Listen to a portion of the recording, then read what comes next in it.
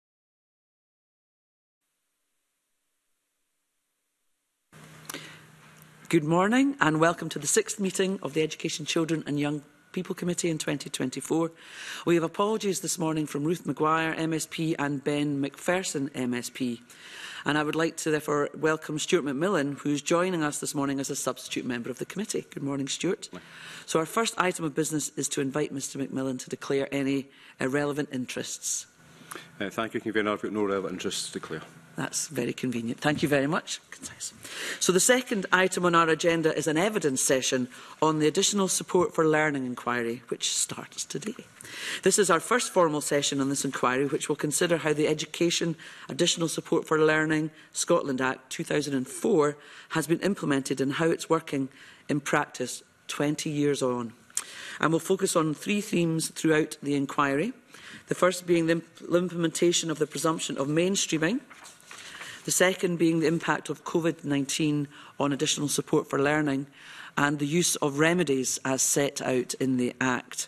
And today we'll focus mainly on the first and third themes. And therefore, can I welcome, uh,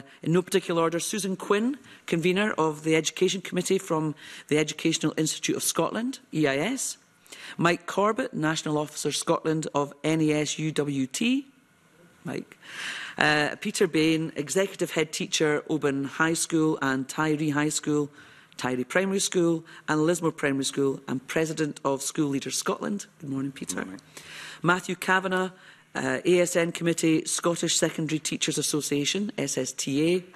And finally, Sylvia Hochney, Hoch Hochney, thank you, sorry, Education Convener at Glasgow City Unison Branch, Unison, Scotland. Welcome all and thank you for your written submissions you provided ahead of this meeting. And we're going to move straight to questions from members. And we have Michelle Thompson joining us online who's going to kick off the morning. Thank you, Michelle. Good morning and thank you for attending, everybody. What can I wanted volume, to do with please? this first... Good morning, everybody. I hope you, you, can hear me now, can you? Yes.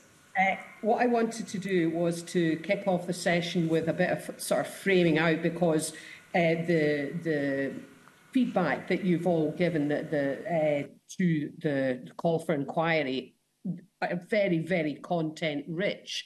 So first of all, I wanted to explore just at summary level what you see today as the expected benefits of the presumption of mainstreaming and I'm asking that question because, of course, we had anticipated benefits when the policy was put in place, and we've got a lot of data to draw on. So that's my first open main uh, sort of framing question. The second one, which we can cover, are what do you see are the main impacts of implementation on of the policy on children with complex needs? And if you can just keep it at summary level, because there's a lot of detail I suspect that we're going to get uh, want to get into. So What do you see as the expected benefits today and what the impacts of implementation of the policy? And perhaps everyone in the panel would like to come in at this point. Who'd like to go first? Susan Quinn, thank you. Thanks for, for that, um, Michelle. It, it's a really interesting question. I suppose what um, most of us would have thought would have been the potential positives of the presumption of mainstreaming would have been that young people would have continued to be taught in their local area alongside their peers um, so that they were continuing to part, be part of a community where they were brought up, where they were, where they were working and playing with the children that they lived with. Um, and that would be the, the, the kind of shorthand of, of this, the, a real summary of what the potential was around presumption. I think the, the impact, as we see it, is that um, because of under-resourcing and because of the challenges that schools face, the needs of the young people who are um, in mainstream are not being met as well as teachers and others would want to see. That um, large class sizes and the growing number of um, complex needs that are um, being addressed um, are, are meaning that it is very difficult to meet the needs of young people at this time in the mainstream setting. Um, and that's the, the kind of summary level of that. There is a, you know, a lot more behind that in terms of the impact of, of COVID and what that's seen in the last three or four years But this was also an issue pre-COVID in terms of the ability for schools to meet the needs of our young people in mainstream schools. And I guess the knock-on effect for our specialist provision too, because although we're talking about presumption of mainstream, what we've seen is that um, the more complex needs in our specialist provisions have become more complex and more challenging to address and the knock-on effect there. So those schools which were complex needs um, historically have got more complex. The children who would have historically attended a complex needs school are now attending an additional support needs establishment. And those children who were attending an additional support needs establishment are attending a mainstream school alongside the young people who we would have been expecting to be addressed through the presumption of mainstream. So you've still got a level um, in these tierings that are that we, we, we would have been expecting to be addressed in the presumption of mainstream. P Peter, do you want to come in there? Yeah, thanks very much. uh, thanks for that question as well, Michelle. It's, uh, it's crucial to, to the whole agenda and that uh, My response would be that the presumption in mainstream is something that should be aspired to for every youngster. I think where it falls down is certainly under funding, under resources, lack of training for staff, uh, particular ASN staff. Uh, discussed with this committee the last time I was here on a similar subject that we have you know, a very underutilised resource in ASN staff and because of the way it's funded, we tend to have ASN staff in front of children and that's the only hours that we allocate to it. We need to be building in nationally uh, a formula that allows for additional hours for every member of the ASN staff in every school to receive CLPL opportunities, to receive an opportunity to discuss with teachers the individual needs of the children that they're supporting, an additional amount of time that will allow them to Eh, to upskill uh, and increase their knowledge and the support that they have to give these youngsters. And at the very basic level, if we could build in a formula that insists or advocates for that additional time allocation to support uh, the ASN staff, that would actually go a huge way to solving many of the issues uh, that arise with uh, the presumption of mainstream. Sitting uh, above that, is an expectation level. And I think that the expectation by many that the presumption of mainstream should be available for everyone is an ideal principle, but there will always be a certain amount of youngsters for very complex reasons that it will not be suitable for. And I think that because we're insistence, our insistence on that universal level of support uh, is so strong, it is actually disadvantaging that small number of pupils where an alternative setting may be better. And finally, and possibly most importantly, and highlighted by Muir and Hayward and in the Morgan report, is the need to recognise the term mainstream itself. We have a, a presumption that mainstream is about going to school between, you know, nine and half three and that everybody has to go to school between nine and half three and they all have to do a set, you know, eight curricular areas in the BGE and they all have to do five subjects in the senior phase, etc. And that they all have to be in the building. And we need to stop that. We need to recognise that every individual uh, within our school system do have individual needs. And some of these needs, needs might be that they're coming in later. Or some of these needs might be that they're uh, being taught in a workplace. I'm not suggesting an S1 going to a workplace, but... Uh, we do have to change our insistence on mainstream schooling being 9 to half 3. And if we do that, then the presumption in mainstream and the, the level of provision that we give to each youngster with the ESN would be far better fulfilled and we would actually achieve the goal. But again, I agree with Susan that it does require additional funding and I'm adding that it must come with additional CLPL. Thank you, Peter. Uh, can I, Sylvia, can I invite you now, please?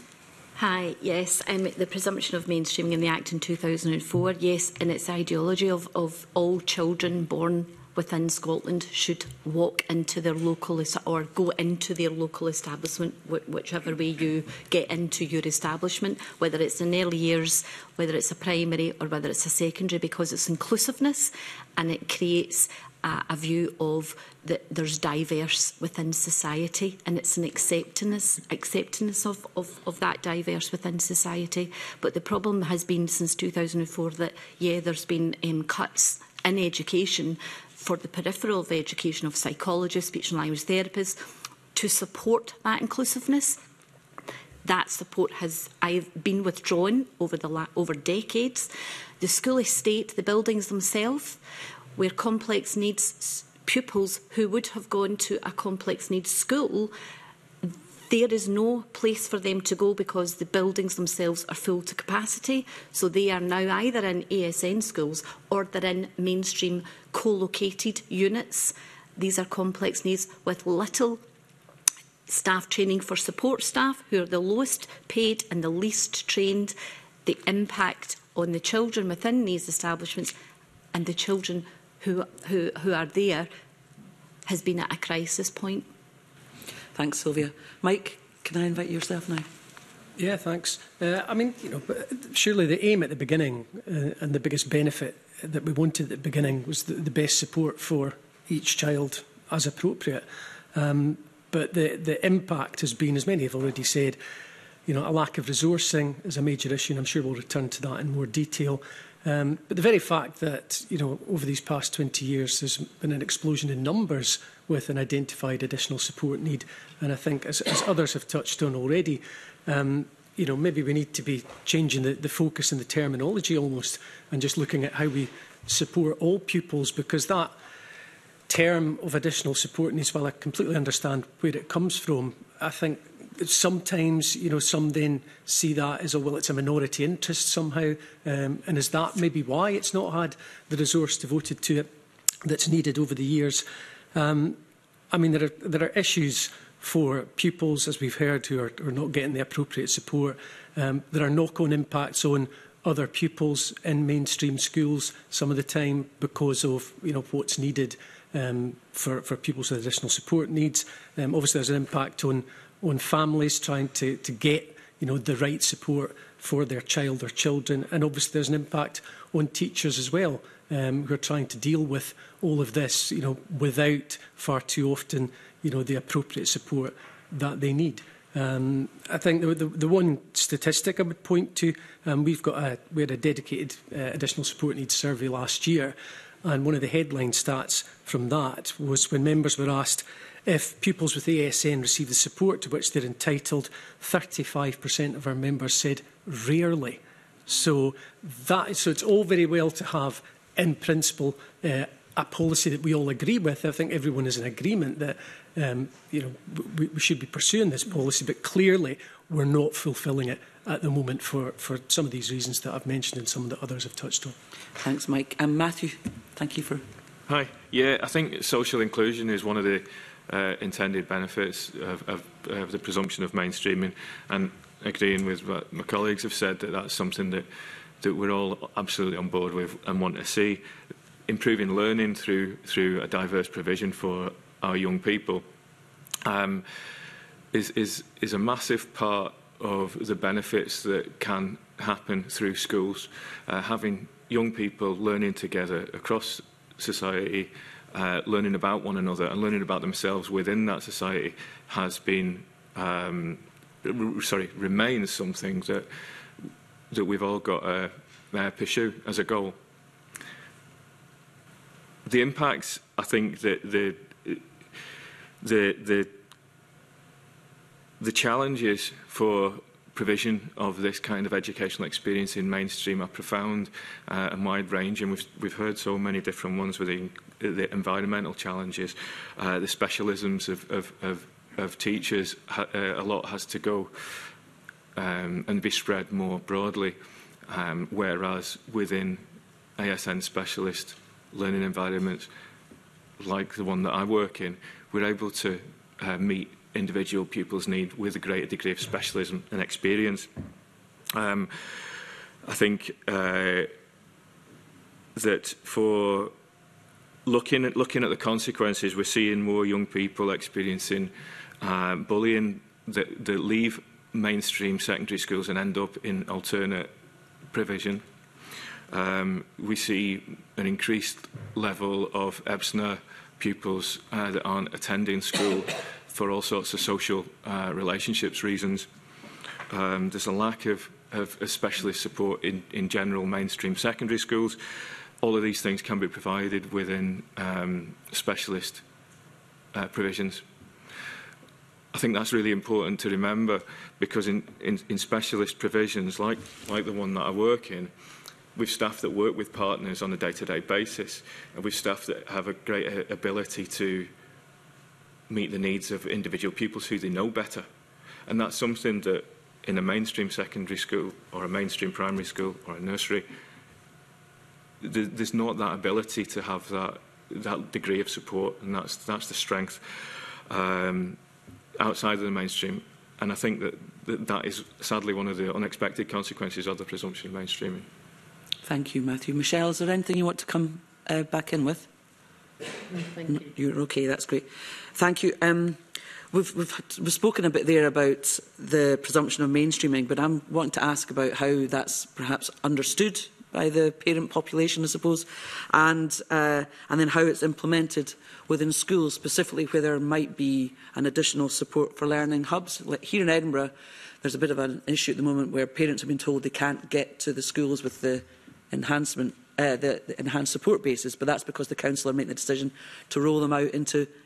every school to give additional. Um, so again, it's that communication. And so I was wondering, so how is the duty of the mainstreaming understood and implemented on the ground so that parents understand uh, within schools? Um, and second question I want to ask is around the flexibility that you spoke about, Peter, um, in terms of potential hybrid models? Because we have heard, or I've heard, that that flexibility isn't being offered and it should be being offered to allow as many people to take part in education as possible. So I was wondering if you can perhaps comment on that. And can I therefore come to you first, Peter, if that's okay? Yeah, certainly. Thanks. Uh, and using uh, one of my schools as an example, Oban High School has a severe and complex needs facility. Within it, it's referred to as a learning centre and the use of learning, the term learning centre is in a number of local authorities. It's quite common in rural areas where the schools are so far apart that you would possibly not have a learning centre or a severe and complex needs additional facility in that area because it's just too far to travel. And so it's quite common. So in Argyll and Butte, there are a number of them because of the distance travelled. And I think in these schools, that particular level of support is very, very good uh, because we've been doing it for 20 odd years and we've learned a lot as we've gone along. The level of support that is required for some youngsters with very high levels of additional support needs is such that it is adequately resourced at that level.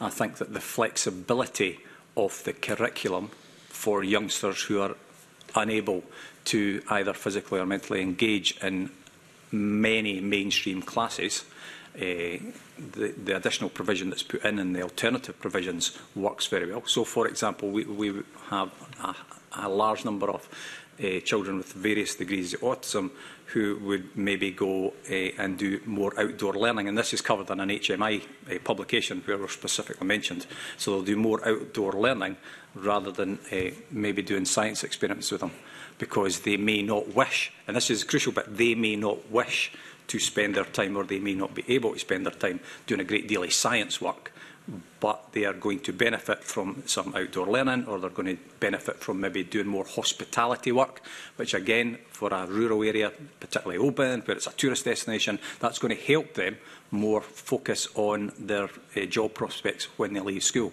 So the presumption of mainstream and the, the presumption in mainstream ideology about it's not just about providing an alternative curriculum, it has to be about providing an alternative curriculum that's going to suit the needs and the desires of the young people to make their way in life after school. And I think that quite often in the commentaries on this subject, that is very much overlooked. We seem to just be talking about put in a provision. It has to be a tailored provision that's useful. And of course, you so can learn works. lots about science in the outdoors as well, can't you? Yes, uh, uh, yeah. So that point was ma mainly about uh, certificated science, mm -hmm. and but and the second point, building on from that, as you've mentioned, that convener, is that we have to stop trying to insist that everybody is doing national qualifications or higher when we have a whole suite of different qualifications that are available to our young people who then can use that and prove to employers that they have the necessary skills and experience that would be useful to whatever job area that they wish to move into. And again, that's part of that flexibility. So I think at that level, it works very well. I think where it's not working is because of the explosion in numbers that Mike was talking about earlier uh, that we have seen since pre-COVID.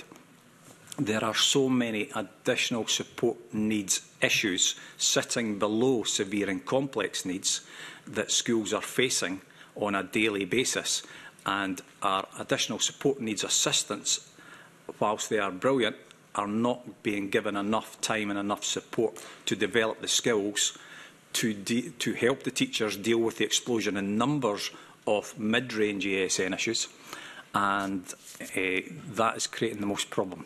I think that some of those issues would be resolved. So I think it was Matthew that mentioned, you know, the, the attendance issues. And again, we talked about this the last time I was here about uh, uh, lappers, youngsters who are not staying in a, in a classroom for a variety of reasons. What could be the alternative that would give them an educational experience that would benefit them? We need a strategy to deal with that. Why are they no longer staying in a class? Why are they no longer interested? Why are we not able to hook them in? That's an additional support need. They may not have a diagnosis, but they're not going to class and staying there in ever-increasing numbers as we can see from the attendance figures. So we, we need to work on that. And then on top of that, there is the, the rise, in, especially in dyslexia, where we've seen a huge, uh, some, I can't remember the exact percentage, but there's at least a 10% rise in the, the number of youngsters who are being diagnosed with dyslexia, for example. And so where, where is the additional training that we're giving everybody to cope with that? But it is a numbers game. The explosion, especially in the mid-range, is not being catered for. And uh, and I think additional staffing. But it's not just staffing, it has to be training. Because we've got loads of staff, and if we trained them more effectively and we gave them time, then they would you know, deal with the numbers better. Thanks. I know we are coming on to some questions that are in both of those themes uh, you spoke about uh, shortly, but uh, can I bring in Susan Quinn? Yeah,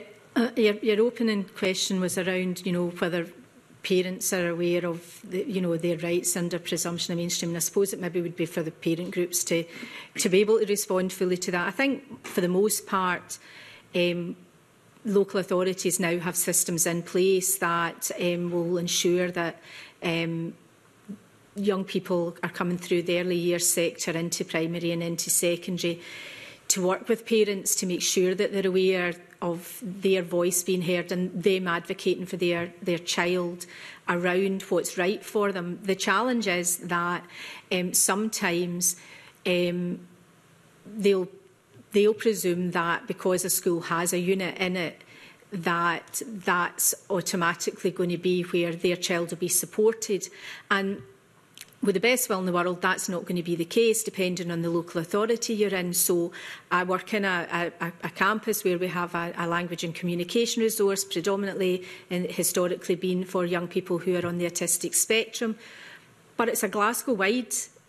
resource. It's attached to our campus. It's run by the other, the other primary school. Um, they, they lead on it. But the young people are, you know, we don't have one in every single school.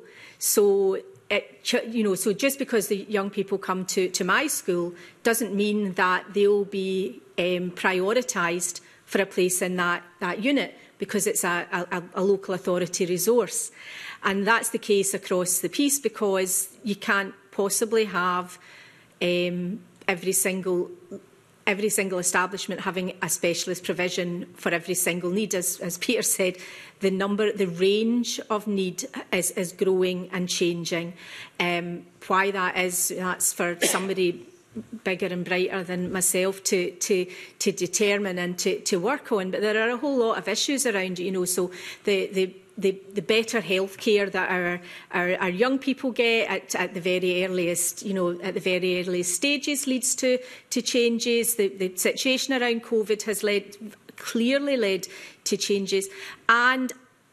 I think an awareness of additional support needs. So there's a wee bit of celebrity um, out there now that is making people go, do you know what? That that, they, that's, that's something to investigate. And that's, that's for the benefit because it is good for people to know what is affecting their life and how they can then deal with it. But the challenge then around that is how that's addressed when you get into the, the, situa the situation of, of schooling. And I, I absolutely agree. I think the, the, the opportunities for um, flexibility and, and alternative pathways and alternative options are vital But we need to be really clear, those are resource heavy. For a single young person to go on an outdoor um, event from, from a, a, a mainstream primary school requires them to get there if it's not in their own, their own place. So that's, that's not necessarily going to be affordable by the parents. So it's going to be the school, or the local authority that's going to have to provide the transport arrangements. You generally are going to require to have more than one adult present, even for one child, because of the nature of the need. You can't just have one person working with them because if you need to get support or otherwise, then that's there. So the flexible options are the things that we should be aiming for and looking to, to enhance, but we need to be really clear those are resource heavy around, around what's there. And I finally pick up on Peter's point about the qualifications. I don't think it's just the nationals that we need to be acknowledging here around the, the implications for it. In mainstream primary, we are having to assess young people using the standardised assessments at primary one, primary four and seven, okay, we can choose not to do primary one, but primary four and primary seven. And yeah, they've got, they can get the support that they get in their class.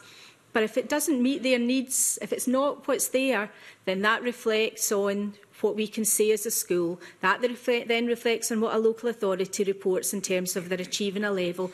And it's that emphasis on attainment over achievement that is problematic for providing a flexible and alternative approach to supporting young people with additional support needs.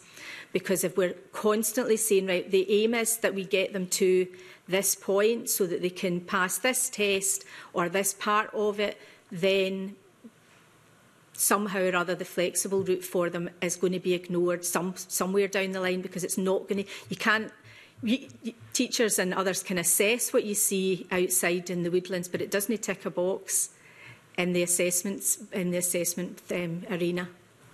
Thanks, Susan. Uh, the flexibility, I mean, uh, some of the comments there uh, probably pertain more to what would be those that have got some real complex needs, but Peter's spoken at length about those with that mid-range that are still could, should perhaps be offered some sort of flexibility in terms of their learning as well that may not be as resource heavy in terms of just dipping in and out and having learning in different environments. I mean, we have heard from families that might find that beneficial.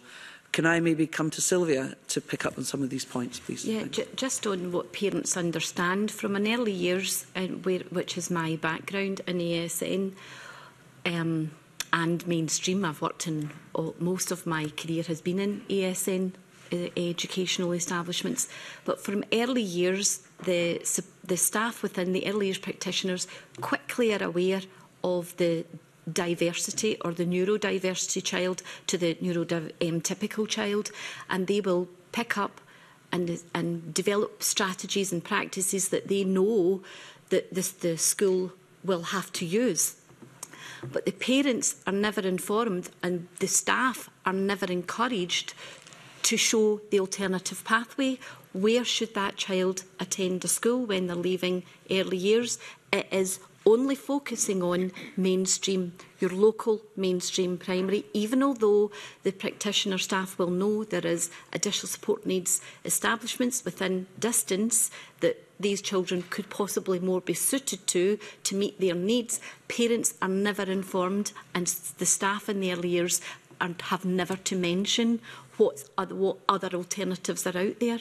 So if a parent hasn't got hasn't that awareness or they don't understand they have a voice or parents who even do have a voice who say no I definitely want my child in mainstream because I think it'll be better for them for a variety of reasons and a parent who wants a child because they feel their child will be better suited to a mainstream or an, an ASN establishment they have a fight on their hands to get there they absolutely they have to involve their local MP, they have to get go to their, their health visitor, they have to go to their GP to try and get their child where they need. And that's only the parents who have a voice, who, who, who know that they have a voice and they will get their child in there. But these establishments are then are full to capacity, so there isn't anywhere for them to go other than the co-located unit within the mainstream where staff are not trained.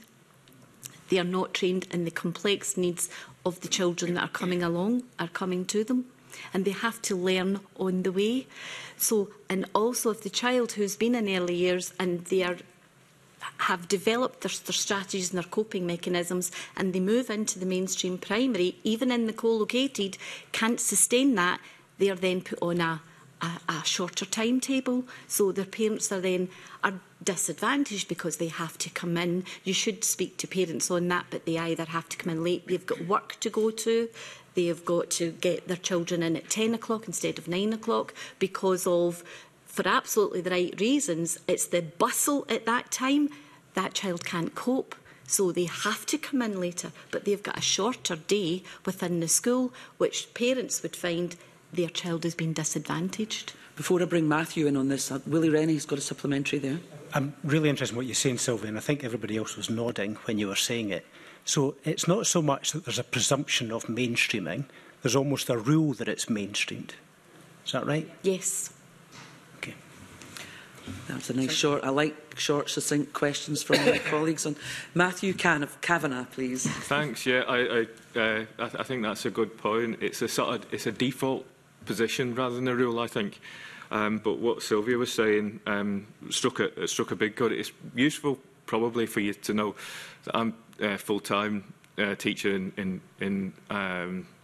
in charge of pastoral care in a ASN secondary in, in Glasgow and I predominantly work with young people who have learning disabilities.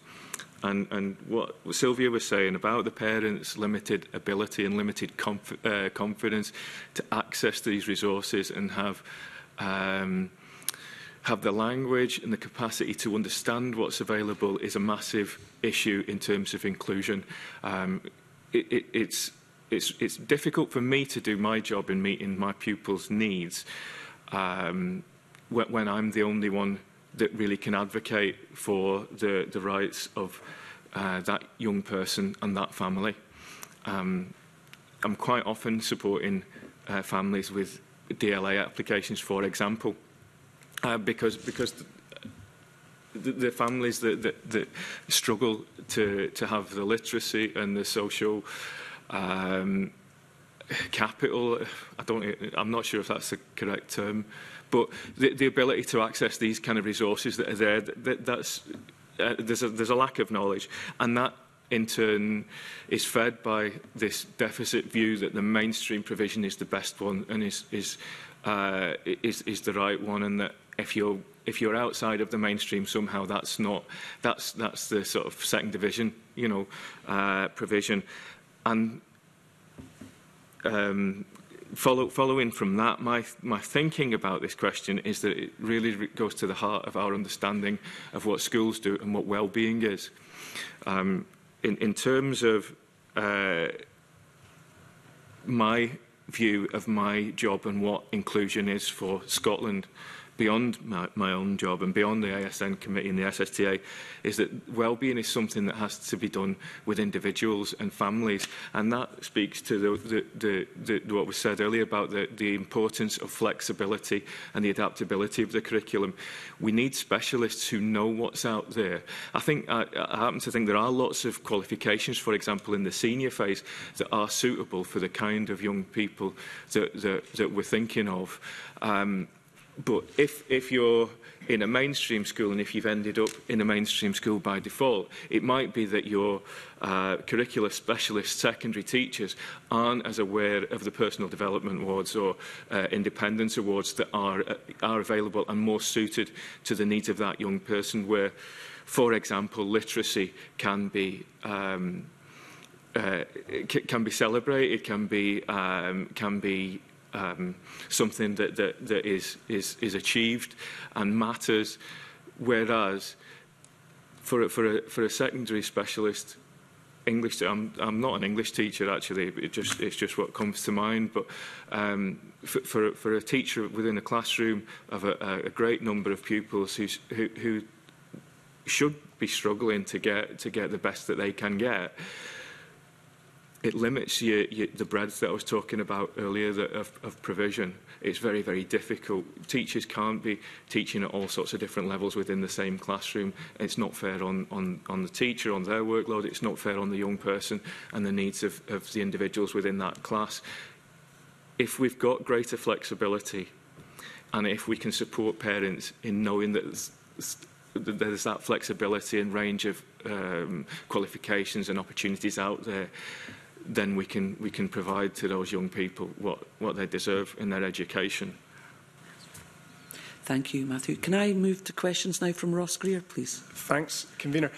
I'm interested in panel's views on the relationship between the, the level of need, the complexity of need and resources that are allocated to it, particularly in mainstream settings. I for the purposes of this question, I distinguish certainly between mainstream and, and special schools. I'd be interested in Matthew's experience on, on the latter, but particularly for, for everybody else, do you think it's typical in a mainstream setting for there to be an acknowledgement that more complex needs uh, require and therefore get more complex uh, additional resources?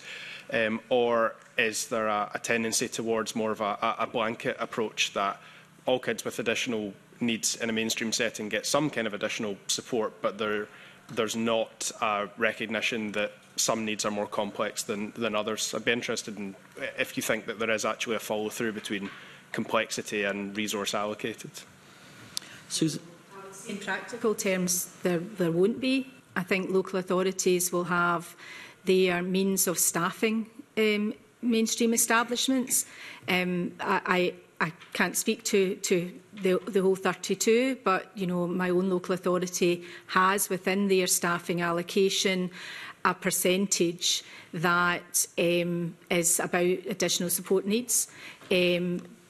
and it's then based on the number of children, but it's been the same percentage for well over a decade. Um, it wasn't a big enough percentage um, a decade ago. It's certainly nowhere near a big enough percentage now in terms of the allocation, and it doesn't take account thereof. The, it's, a, it's a, then a presumption that everybody's got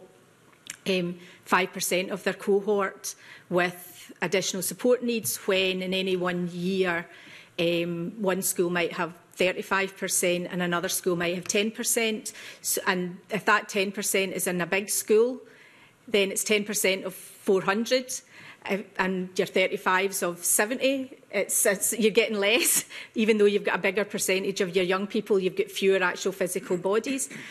It won't take account of the, the range of need. There's, there's never, in, in my 35 years of teaching, um, been um, the, the, that kind of consideration in terms of being able to staff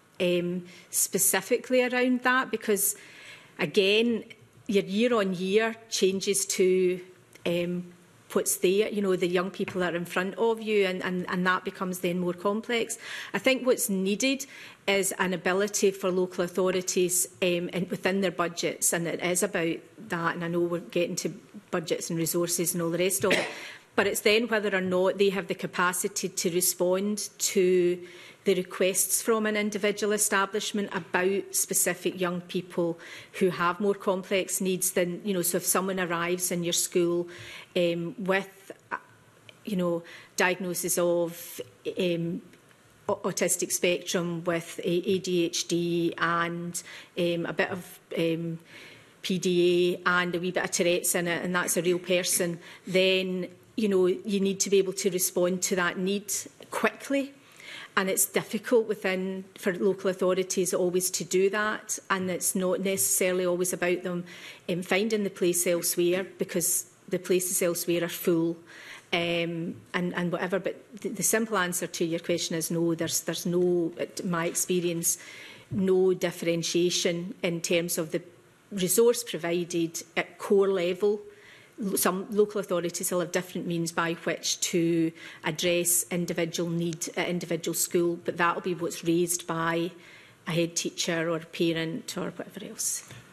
Can I just pick up on that? I'll come in as well, if that's okay. Uh, yeah, um, if I um, could just Peter. pick up on Susan's point, just mm -hmm. a, a one specific yeah. bit, and then bring Mike. I think Peter was looking to come in as well. Uh, Susan, my correct me if I'm wrong. I understand you correctly that as well as the, the question of level of resource, what you're also saying in terms of the the correct resource is that there are situations where you might have uh, a member of staff in one school who specialises in a particular kind of support, but the nature of school, children with that particular need move on. There's a child in another school who might have that kind of need, but the local authorities aren't flexible enough to make sure that the staff are in the right place. Because when you were saying that, what struck me was that the, one of the very first meetings I had after I got elected was with a 15-year-old uh, with hearing impairment who on her first day of high school was uh, a member of staff was introduced to her, so this will be your one-on-one -on -one member staff, and they said, hi there, lovely to meet you. I usually work with kids with autism, but I'm sure we'll figure this out between us. So I, I don't think it's necessarily that there's not a willingness by local authorities to, to be flexible around it. I think um, there are, there are a range of reasons why those kinds of um, things can't happen. So very often, um, and Sylvia will speak more for in behalf of support for learning workers, but very often if it's a support for learning worker who's been identified to work with a young person um, and they've had, then they, and they're lucky enough to get the training or even if they're they have developed the level of experience with the young person year on year, then they won't necessarily um, there wouldn't necessarily be the facility for them to move on with that young person or to, to move around. And there are a variety of reasons for that, one being it eh, to do employment laws and all the rest of it. Another to do with the fact that, particularly support for learning workers, they, they very often work in their communities. They, you know, when we're talking about mainstream, they very often live in a ve you know very close proximity. So to ask them to move to a school, you know, so again acro either across the city or across a, a, a rural area would be a fi financial detriment to them to to have to do that. And in terms of teaching staff um, who have developed a specialism around a particular area and and be able to move.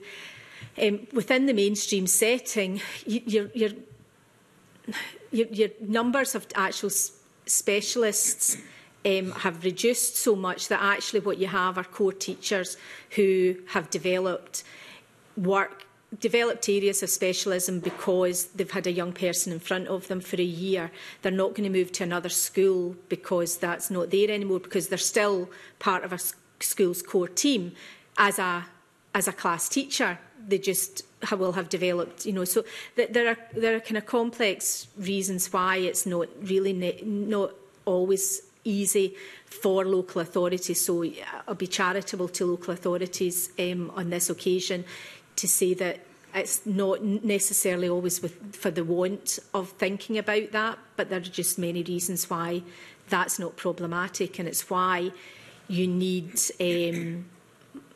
more opportunities everywhere because what we're seeing is that the numbers are growing so much that you do need, you, you know, even if you were to say I was going to lose a member of staff this year because a child's moved on, in August I could take in another child that would have required that person anyway. So.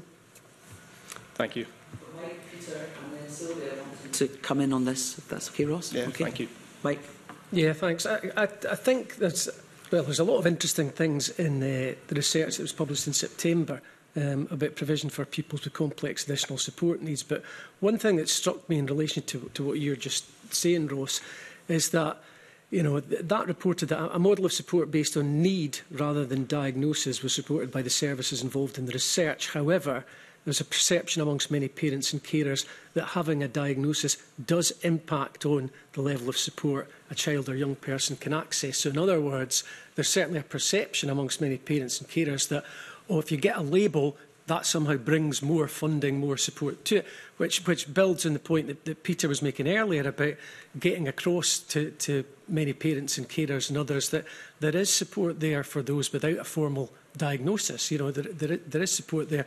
But then to come to your other point about you know, the, the resourcing and, and how that resourcing is, is used, or I would say it's maybe diverted. I think what, what tends to happen in practice, certainly in, in mainstream schools is when they, when they do try, whether it's the local authority or the school itself, does try and address complex additional support needs of a young person that is in their care for whatever reason, sometimes there is then a knock-on impact. So whether that's the, the teacher in the mainstream class uh, no longer has ASN support you know, in their mainstream class because this other person's getting one, this pupil's getting one-to-one support, but there's other kids with additional support needs in the class that are not getting, you know, quite the service that they need, whether it's, you know, in the hubs or the specialist hubs or units within mainstream schools, again, because someone maybe is needing more one-to-one -one support, there's not enough time uh, to give to others, um, or, you know, if you go beyond that, and sometimes, you know, resource will be made available, for example,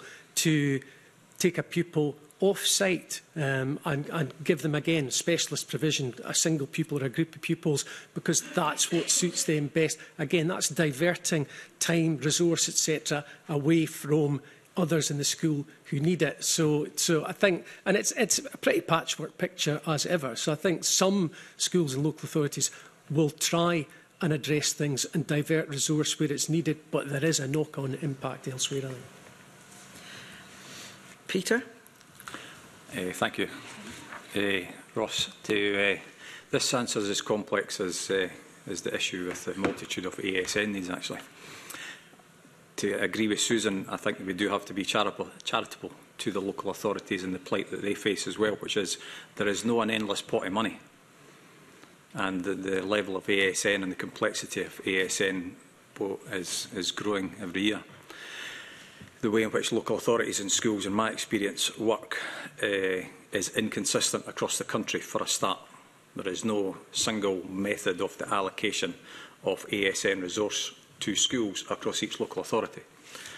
Eh, I choose my own local authority just to give you an example of where I see it does work to a degree within the limits of the limited pot. And I agree with Mike, if you have a label, you're automatically getting support. Uh, first, if you've got a label, the chances of going to a tribunal if they don't provide support is very, very high, and therefore local authorities will put all their resources first and foremost into ensuring that those who have a diagnosis will be supported as outlined by the medical professionals. So if you're, for those youngsters that I described earlier, being in a severe and complex needs facility or part of the mainstream school, they, now people will always say they don't get enough support, okay, but generally we could assume that they're getting a, a very good level of support if they have severe and complex needs. The, the trouble with that is, for a local authority, is the more youngsters who do have that diagnosis and therefore that level of support in that facility, even if that facility is more flexible than in most mainstream, that does divert most of the money to that cohort of young people away from the ever-increasing mid-range of ASN that are in the classrooms that the teachers and the additional support needs staff are most concerned about. And they're most concerned about that group because there is a lack of suitable numbers of staffing and suitable level of training to deal with that of increasing number in the, in the mid-range. And again, to be fair to the local authorities as well, how do they decide where the money's going? Uh, it's about discussions between the local authority, central team staffing and school staffing over the, the, the individual needs of youngsters sitting in a, in a class or in a school. And there is always going to be some degree of disagreement over what that need is because one of them is trying to keep the, the, the pot available for, you know, 10 schools, for example, and the, the head teacher, and usually a deputy, for example, is sitting making an argument all based on the needs of an individual school and there's not enough money to provide the level of support, the level of need that each individual school is asking for. So there's that dichotomy that goes on all the time, and, it, and that's why nobody is ever happy. The local authority is e-, ever increasingly having to sort of spread more thinly, and that doesn't make them look good. And the school's not getting as much money eh, and staffing as they need to cope with the need that they can see every day, so that's not working either. And then on top of that, I think there is a, a political game that's played with all schools and all local authorities over trying to maintain staffing levels within individual schools that may not be the best use of resources for the authority as a whole. And to give you an example of what I'm talking about, so you, you, you may have a youngster who comes into the high school in AS1 and they may have a particular level of need and the authority and the school may have agreed that X number of hours would be set aside for that young person, which will never be agreed as being enough. But then that support stays with that youngster. It might be one-to-one -one with that youngster. But as that youngster grows in confidence and experience and familiarity with a secondary school setting, for example, there is an argument that the youngster should be, and there, there is mention of this in the guidance, that youngster should be developing a degree of independence that they don't need somebody sitting with them one-to-one -one, constantly. In fact, if that was the case for four years, the system has failed. If a, if a youngster, for many, not all, right, but for, the, for the majority of that mid-range, if, a, if an ASN has sat with a youngster one-on-one -on -one for four years, the system's failed. Because how have we prepared them for life after school? That's not to say that we should be re removing their support by the NDS4, but it should still be that we're able to more fully utilise that ASN member staff with their appropriate training. And I talked earlier about the, the need to set aside time for that ASN member staff to talk to a teacher, for example. That ASN could perhaps by S2 divert some of that time to be helping other people in the class. And then by S3, there's even more time. They could be helping three or four people. But that level of communication does require communication and, and uh, sorry, uh, CLPL and, and time to talk. That, that level of nuance that would better distribute the resource is not happening. And I go back to my original point in the first question. If we set aside some time to allow that to happen, the resource overall would be better distributed and benefit far more youngsters within the limited pot that the Scottish Government and the local authorities are always going to have. Sylvia? So, Ross, you'd, you'd asked, you know, uh, initially there of the level of need you know, across, and it is across Scotland. I had been given facts from, which came actually from South Lanarkshire. I was in an end service day and, and this had been delivered. What we do know um, is that we've got three times more children in society with additional support needs and that there's various reasons for why that is and I'm not sure if we're going to go into that today but there is there are reasons there are clear reasons around why we have more children in society who are neurodiversity There's one third more in primary school. So from a support for learning workers perspective or a pupil support we'll take because that's the name that we can use across Scotland.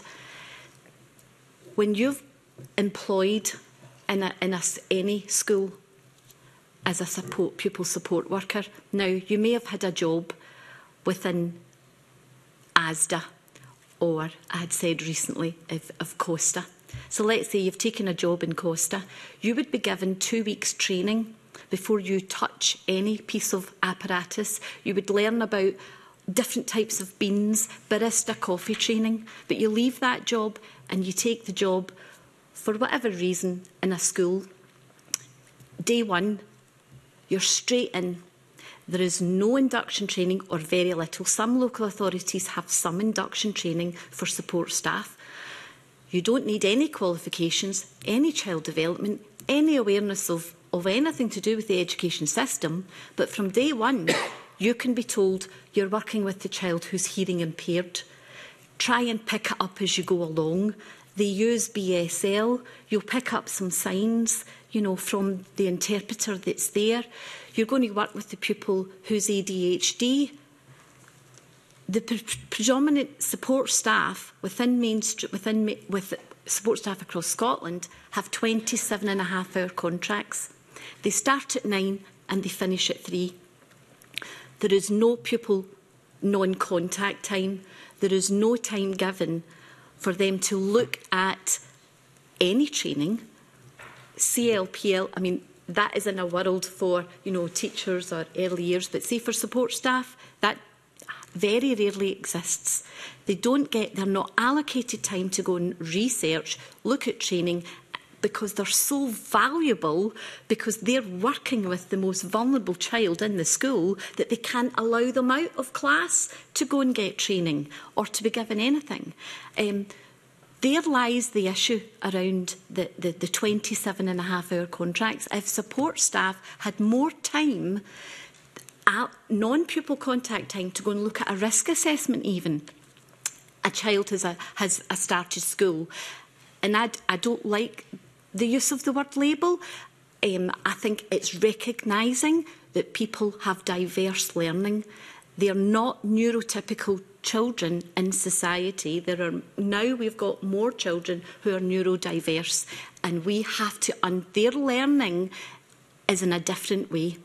It's a different style of learning, and we have to learn how what brings them, what entices them, what is it that they want. They're telling you, I don't want to be in this classroom situation because it's either too noisy, it's the lights are bright, there's a slight noise, somebody makes a noise beside me, there's a smell, there's we have to understand the neurodiverse brain and we're not doing it within schools, but it's the support staff that have to try and work their way around this minefield of hearing impaired one minute, somebody's ADHD, a pupil has Down syndrome. The variety and the diverse within schools, but the support staff have not been appropriately trained and they also might say well let's do all behaviours communication or let on an in-service day or let's do um, de-escalation training. But if we can get our members out of cleaning cupboards on in-service day and into that training, that would be more ad advantageous. But see, doing it once a year,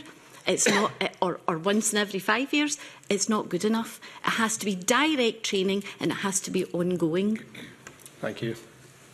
And that's something we've certainly heard uh, in the last wee while. Liam, do you want, Kerr, do you want to bring in your theme here, or do you want to? Yeah, just a, a brief mm. question, uh, which I'll direct to Peter Bain. Uh, unless the, the rest of the panel wish to come in. Uh, uh Peter, uh, I want to take on uh, Mr Greer's question about coordinated support plans.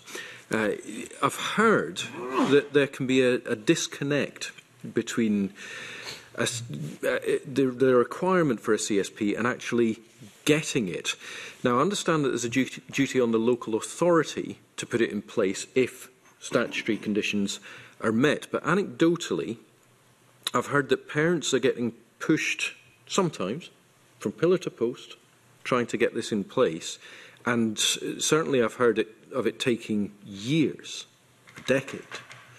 Uh, so, can you help the panel understand, uh, committee understand, who has responsibility to lead on making a CSP happen such that they can be held accountable if it's not? And might there be any truth in the suggestion that due to under-resourcing, perhaps, local authorities either might not be able to assess the conditions or ultimately put it in place? It very much uh, varies between local authority and local authority. I think it depends on the strength of expertise that lie in central teams, ASN areas, over the guidance or the, or the policy that's provided to schools over the use of CSP, CSPs. so that's one limiting factor. The second limiting factor is the strength of the partnership arrangements that sit in each local authority and, and worse that, in each uh, school community.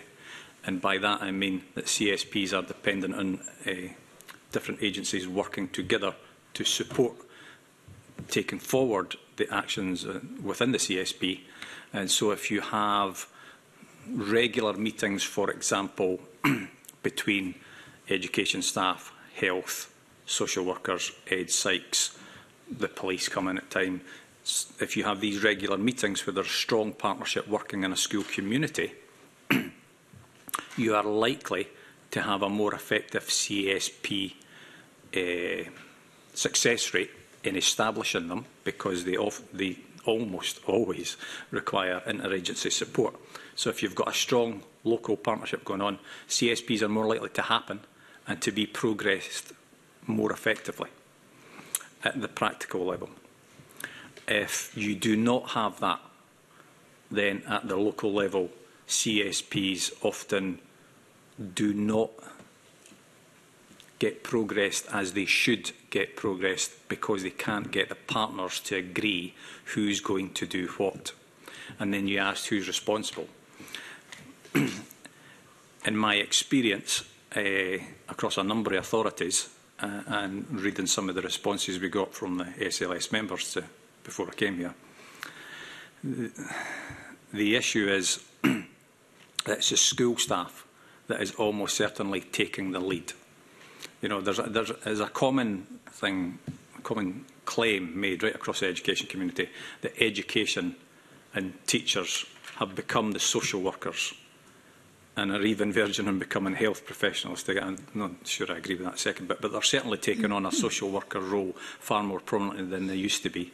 The fact that we used to have uh, guidance teachers who would be subject specialists and, and pastoral support staff now I don't know what the percentage would be really high across the schools where full-time guidance is now in place because they have taken on that, that social worker role because the number of social workers in local authorities across the country have diminished so highly. The number of educational psychologists in all the local authorities have been cut severely.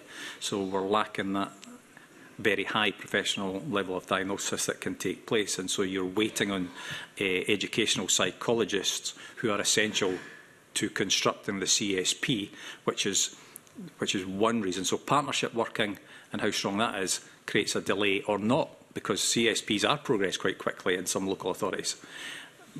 The delay in the partnership working, the delay in the Ed Sykes is crucial, and uh, thereafter, I, I've not come across a local authority being an inhibiting factor to the establishment of the CSPs. I've not come across that policy, that negative policy drive, personally. I think it's, again, back to resourcing and the resourcing of partners. I think that just like we're complaining that we don't have enough resources, so our social workers and NSICs and all the rest of it. This one, uh, Mike wanted to come in, then Matthew, and then uh, Susan. So over to you, Mike, first. Thanks.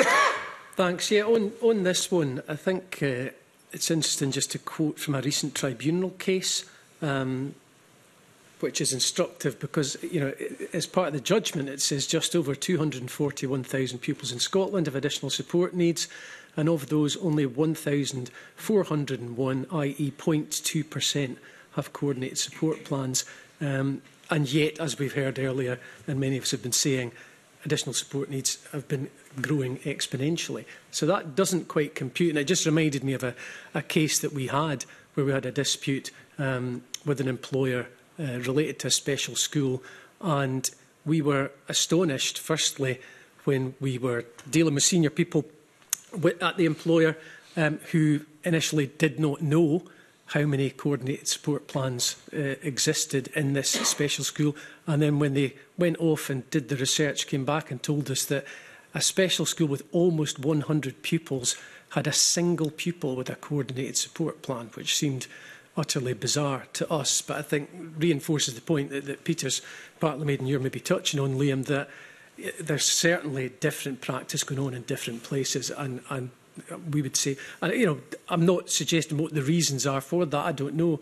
As, as Peter said, you know, that I don't know if that's because there's somehow a fear that, all right right, well, that'll attract resource. I don't know, but it certainly warrants, I think, a deeper investigation because there's definitely an issue there. Thank you, Mike. Matthew, can you follow? On? Yeah, I can, and it leads in well what, what Mike's saying because. Um, And I, I am speaking in a sense anecdotally because I'm talking about my own personal experience. I've, I've been in a school where almost all of my pupils would have a right to a CSP. Very few uh, actually do, uh, which would correspond with those statistics. Um, and very few, if they did have, would see any significant difference in the provision that they get. It would um, if, if I was to return to school tomorrow morning and find out that those pupils who, who had a legitimate question about whether whether a CSP would be appropriate or not uh, would, would to put that to my desk it would be my job to to then progress it which would take an incredible um, amount of stress time um, and and you know effort and all the rest of it that wouldn't change an awful lot of the provision that is that is um, that, that I know that my pupils get. I'm not suggesting, by the way, that I don't think it's right that CSPs are available uh, to, to my pupils. I think it is right, but uh, I think it's important to, to realise that because it's it's on the schools to, to, to lead, you know, on the schools on behalf of the education authority, uh, the local authority, to, to, to have the responsibility for the, for the CSPs. It's a very difficult process if you're already working with health social services um, uh, and, and, and other partners that were mentioned earlier, you know. Um, so I think I think it's just it's just useful to, to add that in.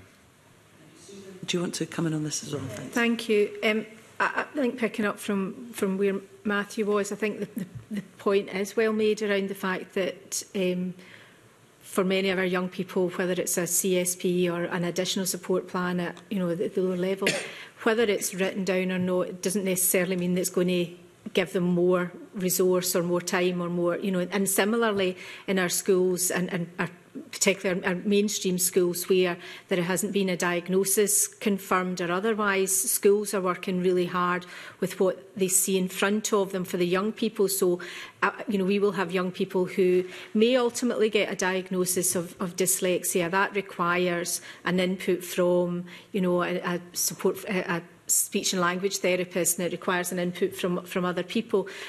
I'm not going to sit and go, do you know what, until I get that diagnosis, we're not going to do anything with that wee one.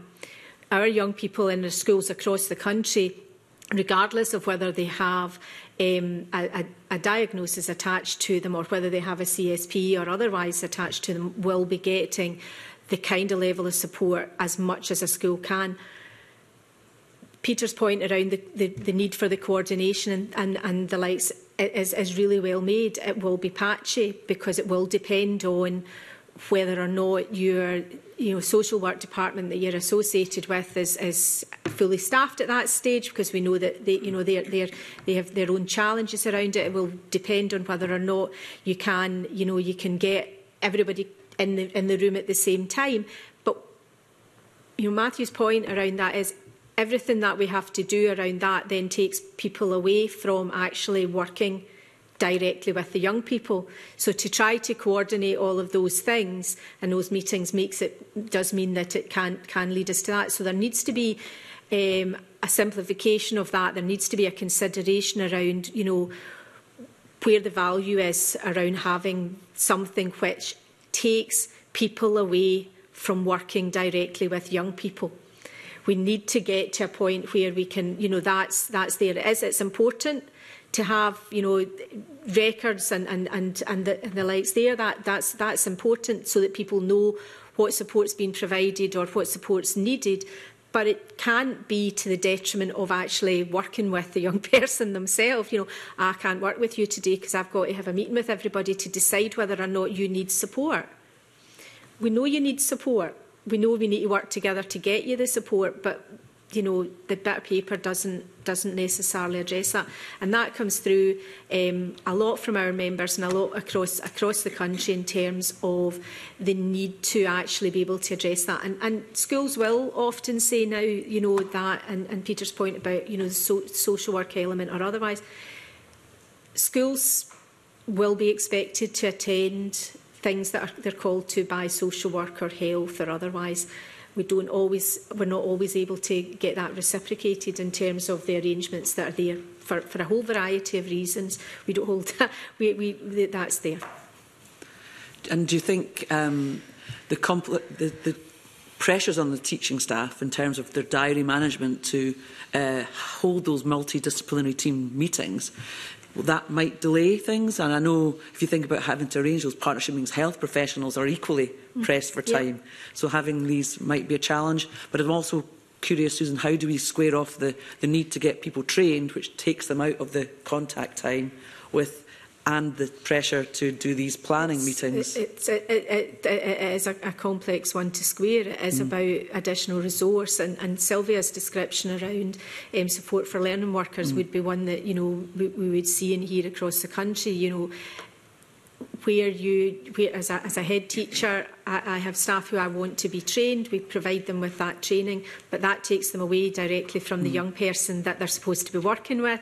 So what's happening in that hour yeah. or two that yeah. we are doing that? But we know that's, I personally know that's going to be of value for the next month, but it's squaring all of that and, and the and the challenges faced around being able to access um, the support work that, that can happen around um, other agencies. And as other colleagues have said, the change in dynamic around educational psychologists, when I, when I started my, my, my career and started in senior management within it, you know, there were significantly more educational psychologists available and they worked and saw young people mm. on a much more regular basis.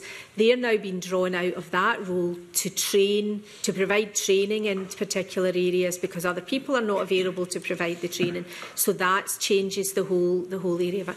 And similarly, speech and language therapists have their roles have changed too. That mean it's more more pro- become becomes more problematic, and it's all to do with us trying to um, do, do more, more with, with less. Do, do more with less. And on that topic of resources, we're going to move into sort of questions around that theme from Stuart McMillan, please. Thank you. Okay. Thank you, Convener. Um, certainly, I think this morning um, has been uh, quite uh, enlightening, uh, to say the least, with, with regards to the issue of the resources. Uh, and I think the Peter Bain, um, you, you said something a short time ago with regards to the limited budget for Scotland and also local authorities. Uh, and certainly the submissions that we have, I mean, all throughout the submissions, there's the issue of the resources. Uh, and the, so my first question just is regarding the, the, the resources that we have. Uh, clearly, uh, there aren't enough uh, going in.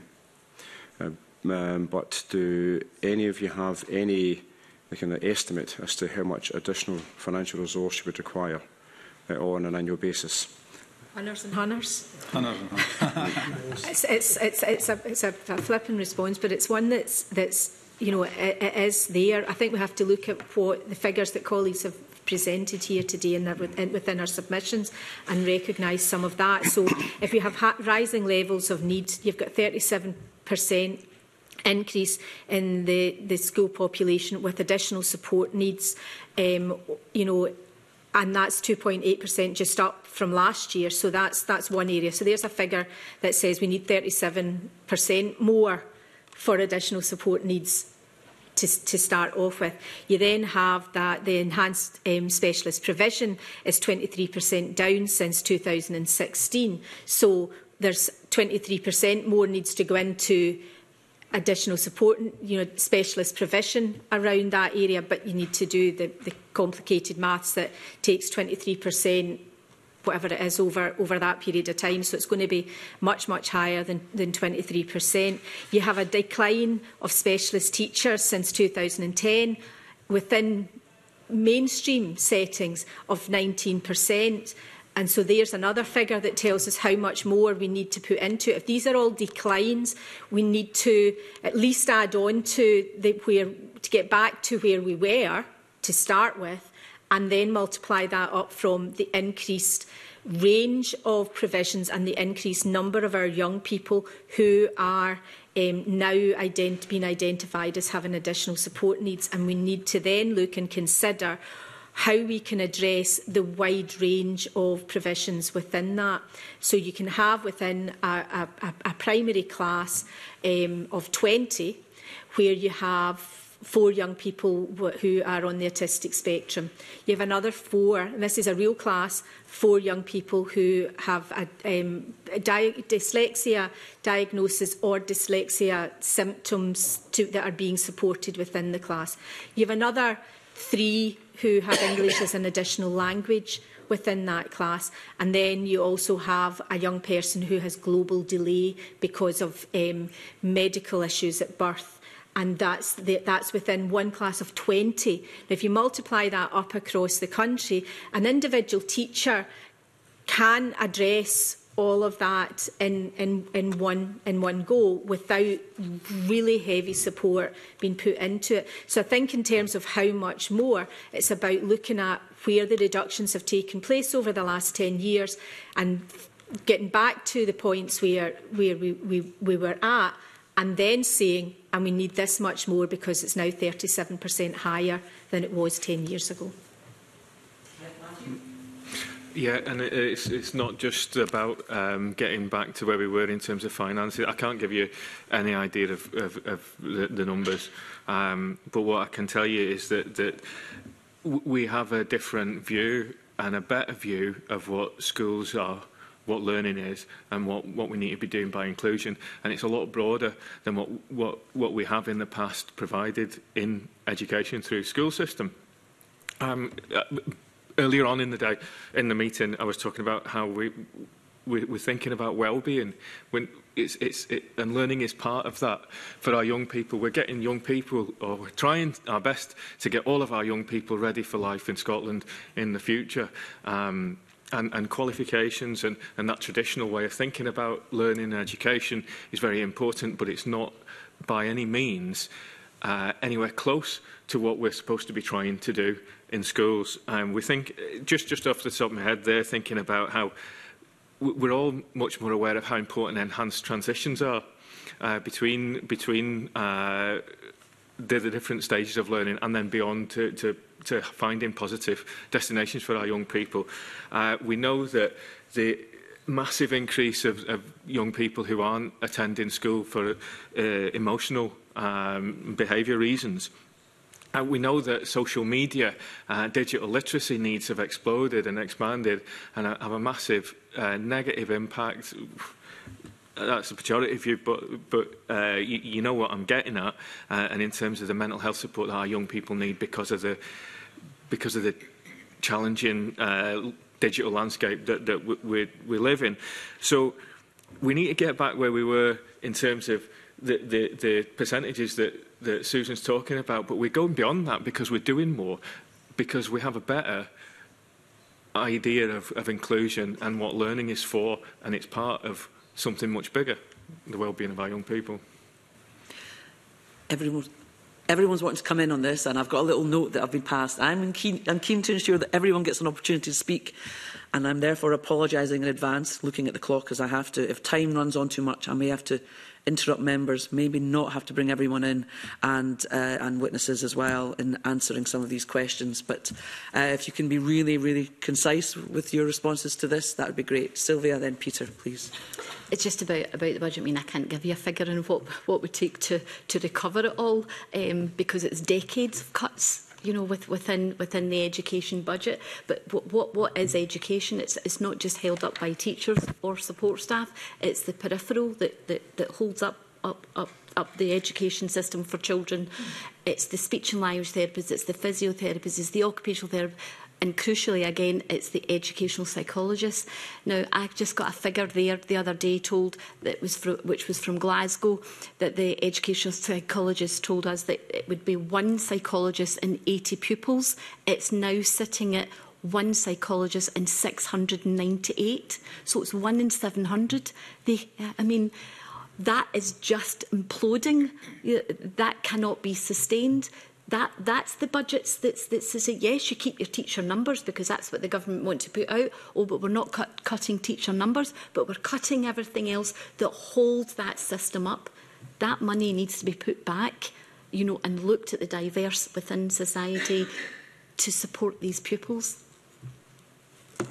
Peter yeah, just a couple of short points. Uh, Susan's quite right, and the figures that uh, she's put together are excellent in highlighting where we should be in relation to where we were using the, the measures of that period in time.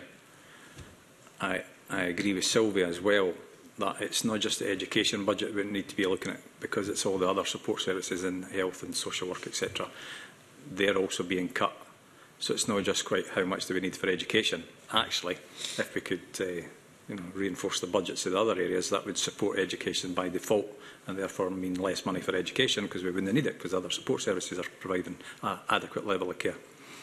But crucially, uh, eh, the whole thing is to go back to two questions. What do we mean by inclusion, especially given we're talking about 40 or 50% of kids in a school uh, requiring that? And it goes back, Mike, at the very beginning, was talking about there's just so many kids with ASN that has that become? the not, why are we treating them as uh, some discrete group given it's 40% or 37% nationally? So we need to re-evaluate our ideology behind the concept of inclusion and support in classrooms that's required thereafter. And then on top of that, what do we mean by curriculum? And that goes back to the flexibility point. Why are we still seeing the curriculum as if it was the Victorian age? Because if we've reassessed our interpretation of curriculum in the modern sense, and what need is for the 21st century, that would alter what support that we are required to provide when, and in itself that may actually cost more money, but it may cost less. But we do need to understand what do we mean by the curriculum? What do we mean by the school day? What do we mean by the school? Is it just that building we go to? And thereafter, how do we be, how are we inclusive to ensure that that modern curriculum is met. And then, then what do we need to put in place before we can get the cost down? Uh, Mike, you want to come in as well, thanks. Very, very briefly, and I won't repeat all the good points that have been made about you know increasing number of pupils and all the restoring all the cuts. Um, but let's not forget as well the impact of the pandemic, particularly on things like pupil mental health and behavioural issues, which, which again need to be addressed and will require some resource, as well as all of the other things that have been mentioned. Thanks. Thank you. Um, I was noticing we've spoken a lot about training as the day has gone on, and I noticed that in the submission, the Children's Commissioner has said that in relation to that, there's a lack of political will, technical knowledge, and capacity in implementing the right to inclusive education, including insufficient education of all teaching staff, which we've heard, and all teaching staff can also be the support assistance that you were alluding to, Sylvia. But in terms of developing the skills and tackling the increase in those with mid-range, as you called it, Peter, uh, issues, um, how often should training be taking place? What should it look like? And should it be mandatory? Because we have heard that sometimes they're in in service days and some people can avoid the training because it's not uh, mandatory. So, uh, Susan, do you want to come in first? I'm, I'm not. I'm not, in the EIS are not great believers in mandatory training because that tends to bring negative connotations for people around having to do things and, and it can become problematic. I think the challenge around um, around training is that is, is time and, and what's there. So um, there are we, we are speaking today about ASN. Um, you could, you know, you, you I've, I've presented here in the past about training for equalities matters. Then you have um, training just on your standard child protection, uh, health and safety side of things. Then we have all of what we've got to include in terms of raising attainment and everything else. So some of it's it's not about a lack of will in terms of training around additional support needs or otherwise. It's it's often just about the lack of time to do that. Um, Sylvia's point aside for the fact that it's for support for learning workers outside of the five days of in-service, they don't have any time within their contracts unless a school is building that in um, themselves to the detriment, as we've said. Yeah challenge a little bit, Susan. It's like we spoke earlier as well about some of the challenges you have in terms of de-escalating issues in classrooms, and that would be so much better if that you were if the teachers were capable and able to do that, and it would be better for their well-being. So therefore, should this training not be mandatory? Because overall, it would help uh, in terms of the delivery of education for everyone, including the teaching staff. Well, it depends on how the person individually then picks it up in terms of what's there. So it is about whether or not where, where it takes place and how it can take place. De-escalation, as you've, you've addressed, isn't, is, is a different thing from um, supporting young people with additional support needs. That's a, it's, that's a one aspect of, of, of additional support need training that's required in terms of de-escalation. You have a, a huge gambit. So the, so the point would be, is it worth training, uh, you know, taking a teacher out of class,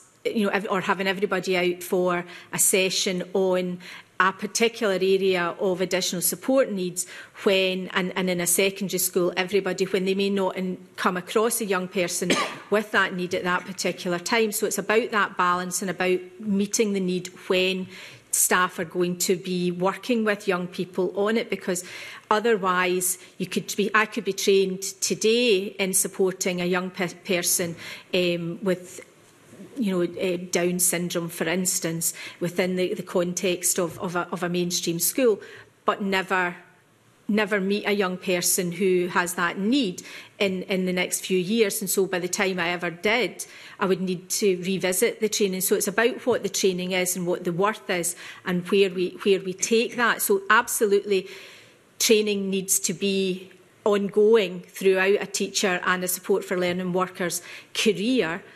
But What mandatory training do we, do we put in place? Because there's no one size fits all piece of training that would meet the needs of all of our young people and all of our staff within our schools. So to say, you know, we eh, have people who do specialist training and specialist qualifications and additional support needs that takes them four years of night, school, you know, night classes to do it through universities and otherwise to get up to a particular level. So it's about finding the means to provide the quality and the level of professional learning that individual teachers and individual schools need at a particular time. But I suppose the argument would be if is 37% of all pupils that are, have got an additional support for learning need, then teachers are coming across it, and therefore it should be but, but part they, of. Yeah, absolutely. But the but the but they will have different needs. I so understand. The so the complexity of the need means that the training that you require to support a young person who with dyslexia is different from the training you need to support a young pe person on the autistic spectrum.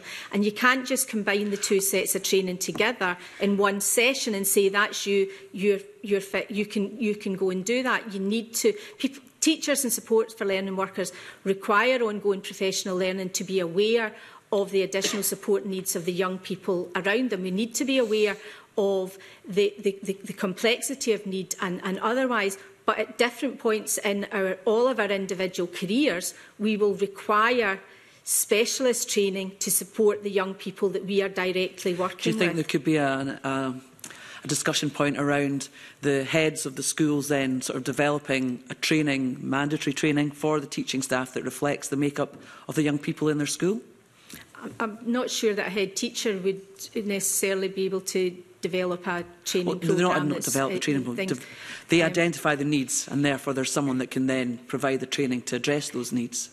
So additional support needs will be part of schools, school improvement plans, so it will be It's that, it's, it's the, you know, you, the terminology of mandatory. It will be part of a school's improvement plan if that's the area of need that's required at that particular time. But if you have a settled staff and you've had in, you know, in-depth professional learning opportunities over a period of time because that's been your priorities in your school improvement plan, do you require then to do it every single year with that same group of staff to the detriment of any other area any other area of work. I, I think that, you, yes, we absolutely, absolutely need quality professional learning, but it needs but the, but the mandatory nature of it is, is more complex than that. I understand that, Susan. Whether I'm or just, not you can you yeah. can deliver something that would fit the need of what's there. I'm going to bring Matthew in. I've got supplementaries from a number of colleagues on this, so we'll see where Matthew takes this discussion. Okay, uh, thank you. Yeah. Um, I, I ended up in the school that I'm in 20 years ago um, after right directly after completing my probation year in mainstream secondary and the reason I ended up where I was was because I got a half day visit to the school that I'm in during my, my initial, initial teacher experience that was all I got I, I thought it was going to be a trip to a school that I wouldn't fit in and I wouldn't like whatsoever. It wouldn't be for me, and it was it was a good uh, opportunity to sort of see behind the curtain and something like that. Um, and it wasn't that. I, I arrived in the school and immediately, and I'm not even joking, immediately I knew that, that it was a school that I wanted to be in and I've been lucky enough to be there for a long time. But the point is, is that uh, when we, in, in, if you're outside of the mainstream, we don't get students, we don't get probationers um, in, in the same way as mainstream, as mainstream schools do. And I've got a real problem with that because I think it's it's it's a loss for it's a loss for us and for our schools because we're not getting those um, uh, new teachers who have just come out of uh, their, their their their degrees that have got a lot more enthusiasm and not and current knowledge based on on the data of things of training that they've got. But those those uh, young and new teachers aren't exposed to to the opportunities that there are in um, circumstances outside the mainstream in education, and, and I think. Uh, you know, it's, it's for other people to decide, but to me, it speaks to that that that idea that that it is the second division if you if you if you're not in the mainstream, and I don't think that's acceptable. Um, we are thrilled when we get um, teachers that are relatively new to the profession that want to come and work in in our schools um, that are outside of the mainstream. Um, it's, it's, it's, it's a fabulous opportunity for us, it's a fabulous opportunity for them, and it's brilliant for our young people as well. We've also been uh, and it's not just it's not just us. I know this is happening in other places. We realise there's that need, so our teachers are going shadowing uh, teachers in primary schools with, with, with uh, that work with complex learners. Teachers fr from, from primary schools are coming and shadowing in our schools our teachers are going to shadow in mainstream schools and vice versa. And that's because schools are taking it upon themselves. They know that there's this need, they know that there's a gap there, and, and schools do what they can to, to, to address that. That's what's happening. But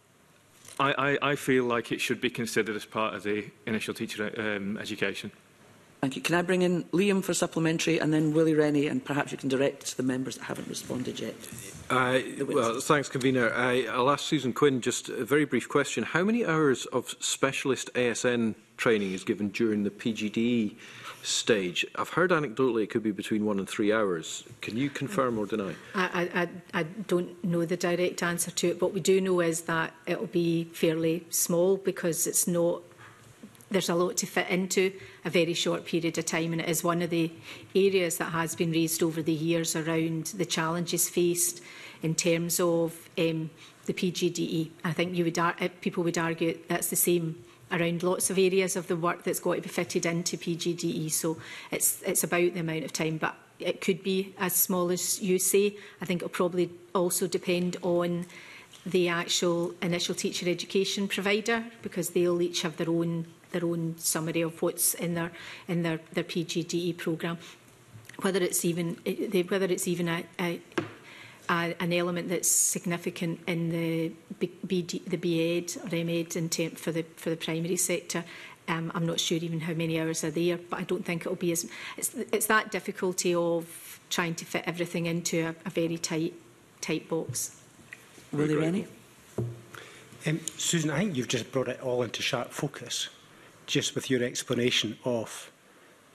all the training that's required.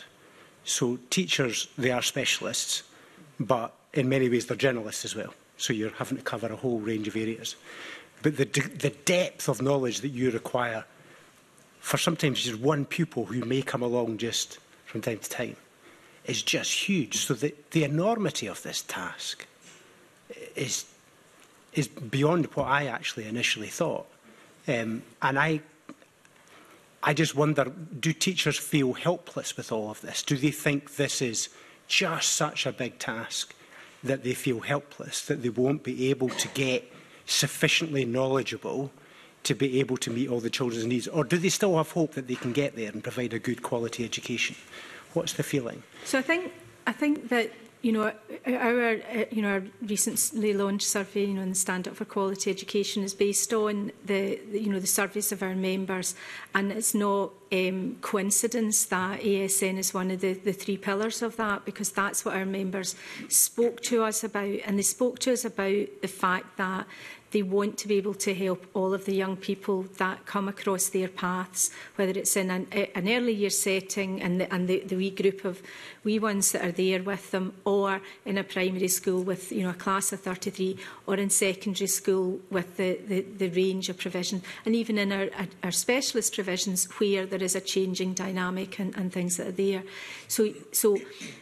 helplessness is something that we, we try to, to overcome, but it is a very, very challenging position at the moment.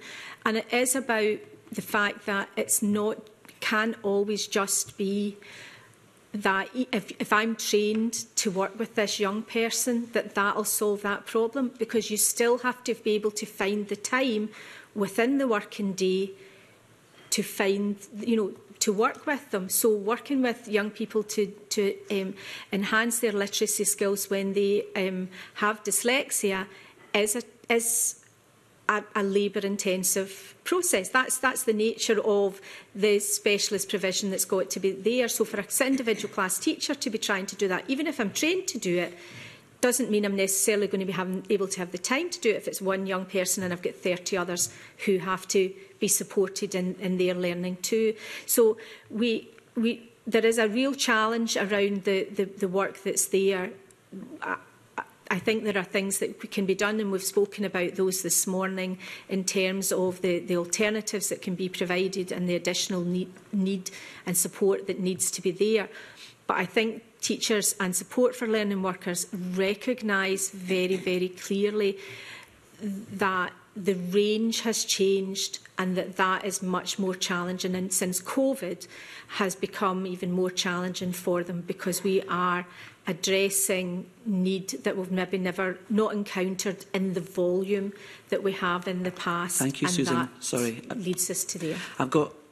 Mike, Peter and Sylvia all wanted to come in on my original question around training and mandatoriness. So can I, and frequency, Mike, over to yourself first, yeah, thanks. I will get to that, but just to address the initial point about teachers overwhelmed. Um, they're overwhelmed by many things, but the evidence we and others have submitted makes clear that there's a, a keen desire for training. Uh, what do they do if they don't get that training? Most of them go off and do whatever they can to help. So we've got teachers who, because of the lack of English as an additional language support, and have got refugee children in their class, are going on to Google Translate at night, etc. So they'll do their absolute best. They'd rather most of them have the training. It doesn't need to be mandatory because some of them will come from, have come from other places with suitable experience, etc. But most of them want it. I think the, the point about initial teacher education is vital in getting a proper base there. Um, but I do have you know, a question about the quality of provision as well. So, I mean, I was struck reading recently about the number of young women in their 20s who are getting diagnosed their, with ADHD in their 20s, which suggests that there's a lack of perhaps knowledge, ability, uh, uh, you know, in the medical profession to some extent. So we can't expect teachers to be just, you know, taking all this on when sometimes, you know, others don't know exactly what the best approach is. But the quality of the training itself um, is a vital factor as well. Thanks. Um, uh, Sylvia and then Peter, thanks. Um, two points that I'd like to make. Um, from a personal experience, I've worked in complex need schools. And I was called, well, at that point was called an instructor. It's a sport for learning. Teachers would go off in the sick or long-term absence and they would try and cover. But in a complex need school, in an ASN complex need school, they don't need to have a, spe a specialised training to come and work as a teacher within that school. If you were a biology secondary school teacher, you must have a degree in biology to work in a school. But it doesn't matter what degree you have, you can work with any pupil within a complex need. So someone walking in to a teacher walking in with no awareness of complex needs would be expected to start off running with no training, none in place at all. If the children were all operating at pre-birth level, or we used on-body signing. We used um, signing, which was makaton We would, the support staff would teach the teacher the on-body signing. We would teach the teacher the makaton signings to meet the basic needs of the child if the child wanted the toilet because they, they couldn't communicate verbally. They would use augma augmentative communication. So we would be in that position and that hasn't changed. So children who are, are in ASN e establishments should have the right to to that specialised teaching. On the support for learning worker within mainstream, we feel it should be mandatory. You're, empl you're employed to work in a job. You've been employed with Costa. Their mandatory training is to operate machines. We're going to work with the most vulnerable children, but you're not given any basic training. Mandatory Psychologists in our, in our field have developed training. There is an abundance of training out there, but it's down to the leadership of individual schools on whether that support staff can access any of that training and it's a lottery on whether where you are at the time, how many children with ASN within, within that school that you can work with the most vulnerable children in society and we'll train you to do that. It should be mandatory. Peter. Very quickly to give uh, everyone some idea of just how much time is available for such training. There's five in-service days. The first one will inevitably be mandatory training on child protection and uh, getting the school up and running after teachers have been off for six weeks. That just takes up. The, there will always be a learning and teaching in-service day at some, some form because that's the bread and butter of, a, of every school. Uh, in the case of secondary schools, there will almost certainly be some moderation activity that takes place across multiple schools not take up another one. There'll maybe be an assessment a eh, driven one because we're driven by attainment stats in secondary school and there may be one that's set aside for whatever ad hoc things that the school improvement has. There you go, there's five away already and we've not touched on any uh, eh, ASN work. Then we've got a working time agreement uh, where each individual school can agree to distribute their 195 hours into particular needs that the staff and the school improvement plan deem to be most prominent. And the school may or may not have put in uh, eh, ASN work into that. But that might only be 20 hours, a, 20 hours a year. That might be like an hour after school every second week. So 39 weeks a year, just say 40, 20 hours. And in that 20 hours, you are going to have departmental work. You may have to discuss uh, career standards. You may have to discuss DYW. You may have to discuss uh, the introduction of AI. Out of that 20 hours, you might get five. That might be, if you're lucky directed towards the ASN. I agree with Susan that there shouldn't be universal mandatory uh, training done, thanks very much, training done to everybody. We shouldn't just say, right, everybody's getting dyslexia, everybody's getting EAL, everybody's getting... But what I do believe is that we have professionals in our schools who know the youngsters that are in front of them and they should have the, the option, the ability uh, to choose what is it that I need to be upskilled and more knowledgeable in? And I think that there should be a mandatory number of hours set aside to ensure that our professionals, both the teachers and the support staff, set aside an hour a week minimum to look at what they believe is their greatest need to deliver to those youngsters who deserve that level of expertise. And, well, you're quite right. Eh, going along with Susan's idea, that will never be truly a professional in each discrete area, but can we spend an hour a week upskilling ourselves in EAL or dyslexia to the level that we can better support young people? Thank you Where very much, Peter. I am going to have to... I'm sorry. I've, okay. I, in this role, I've got my eye on the clock, About. and there's a whole lot of stuff we still need to cover. Um, I'm going to be going to Stephanie Callahan, who's online now. Please, Stephanie. Thanks Thanks very much there, Convener. Um, I want to ask a little bit about Angela Morgan's report. I know certainly um, it documented uh, basically what parents already knew quite often is, is the feedback that I got on it there. But Angela Morgan did call for mainstream education to be redefined to reflect the needs of pupils who have additional support needs. So I'm wondering what is it that needs to change in our schools so that we can achieve this for all pupils? Thanks. Who'd like to answer that one first? Will we go to uh, Matthew? I'm going to go to the other side first. Thanks. Uh, thank you. Yeah, um, simply, I think there's a, uh, there's a, a wider uh, conversation that needs to be had about what schools are for and what they do. Um, I think I think that often when we're talking uh, amongst amongst our friends and uh, families, and amongst the wider public there's a, there's, there are expectations placed on schools about attainment and about getting uh, getting your, your, your uh, qualifications and getting onto a good job. And I think that needs to be challenged massively because that's not the, the, the be all and end all of, of education. And the longer that we persist with. Um,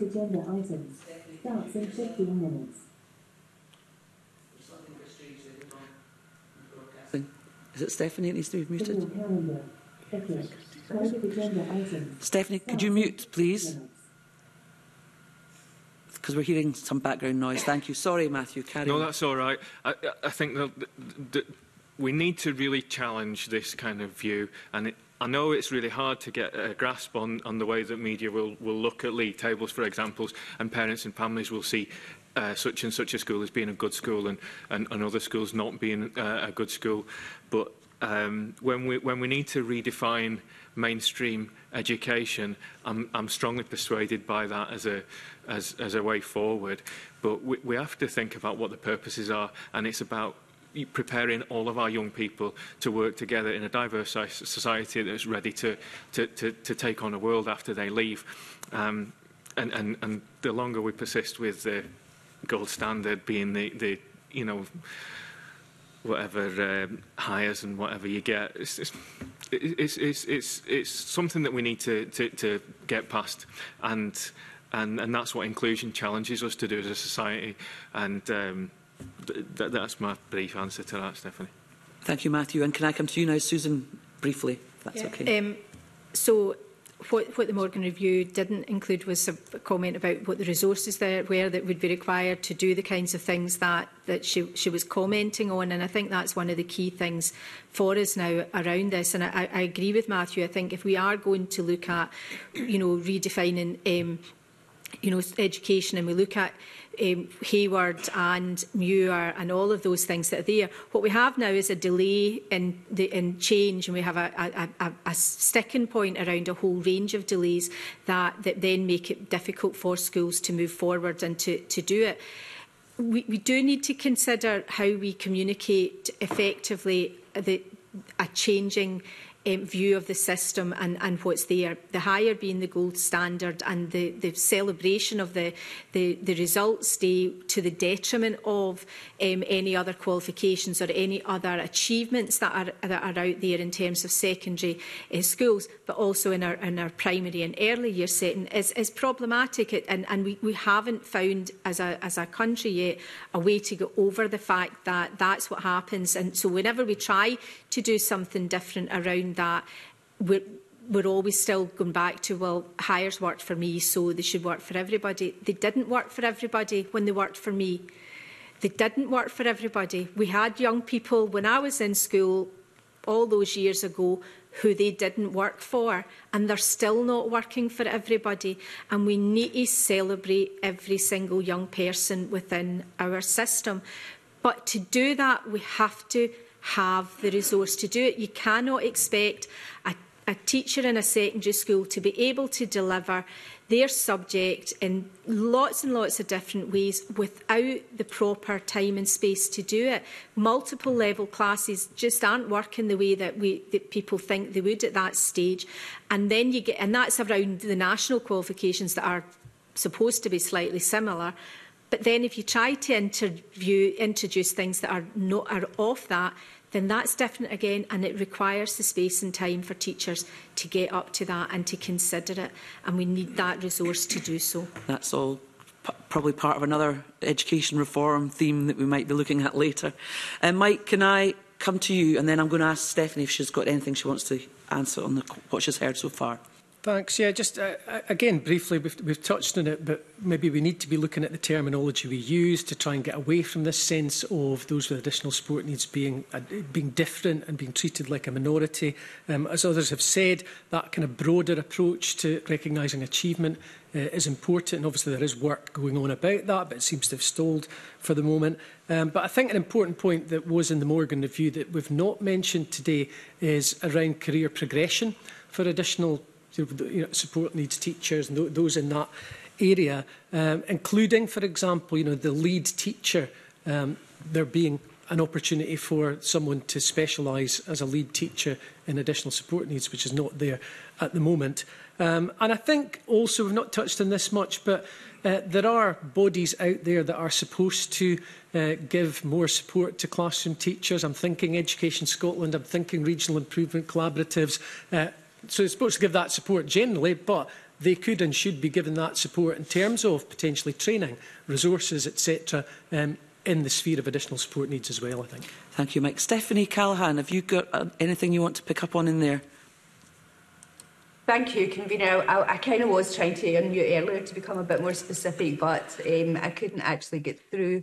Um, can I just ask as well then, um, is this really about having well-being as being something central? And I know that Susan was talking, for example, you know, about schools that are assessed on hires, that are assessed on national fives. And quite frankly, as a parent and a parent of autistic children and young people, um, I think quite quite a lot of parents actually are much more concerned about the well-being aspect of things and actually is that something that we should be looking at and we should be giving feedback to the community.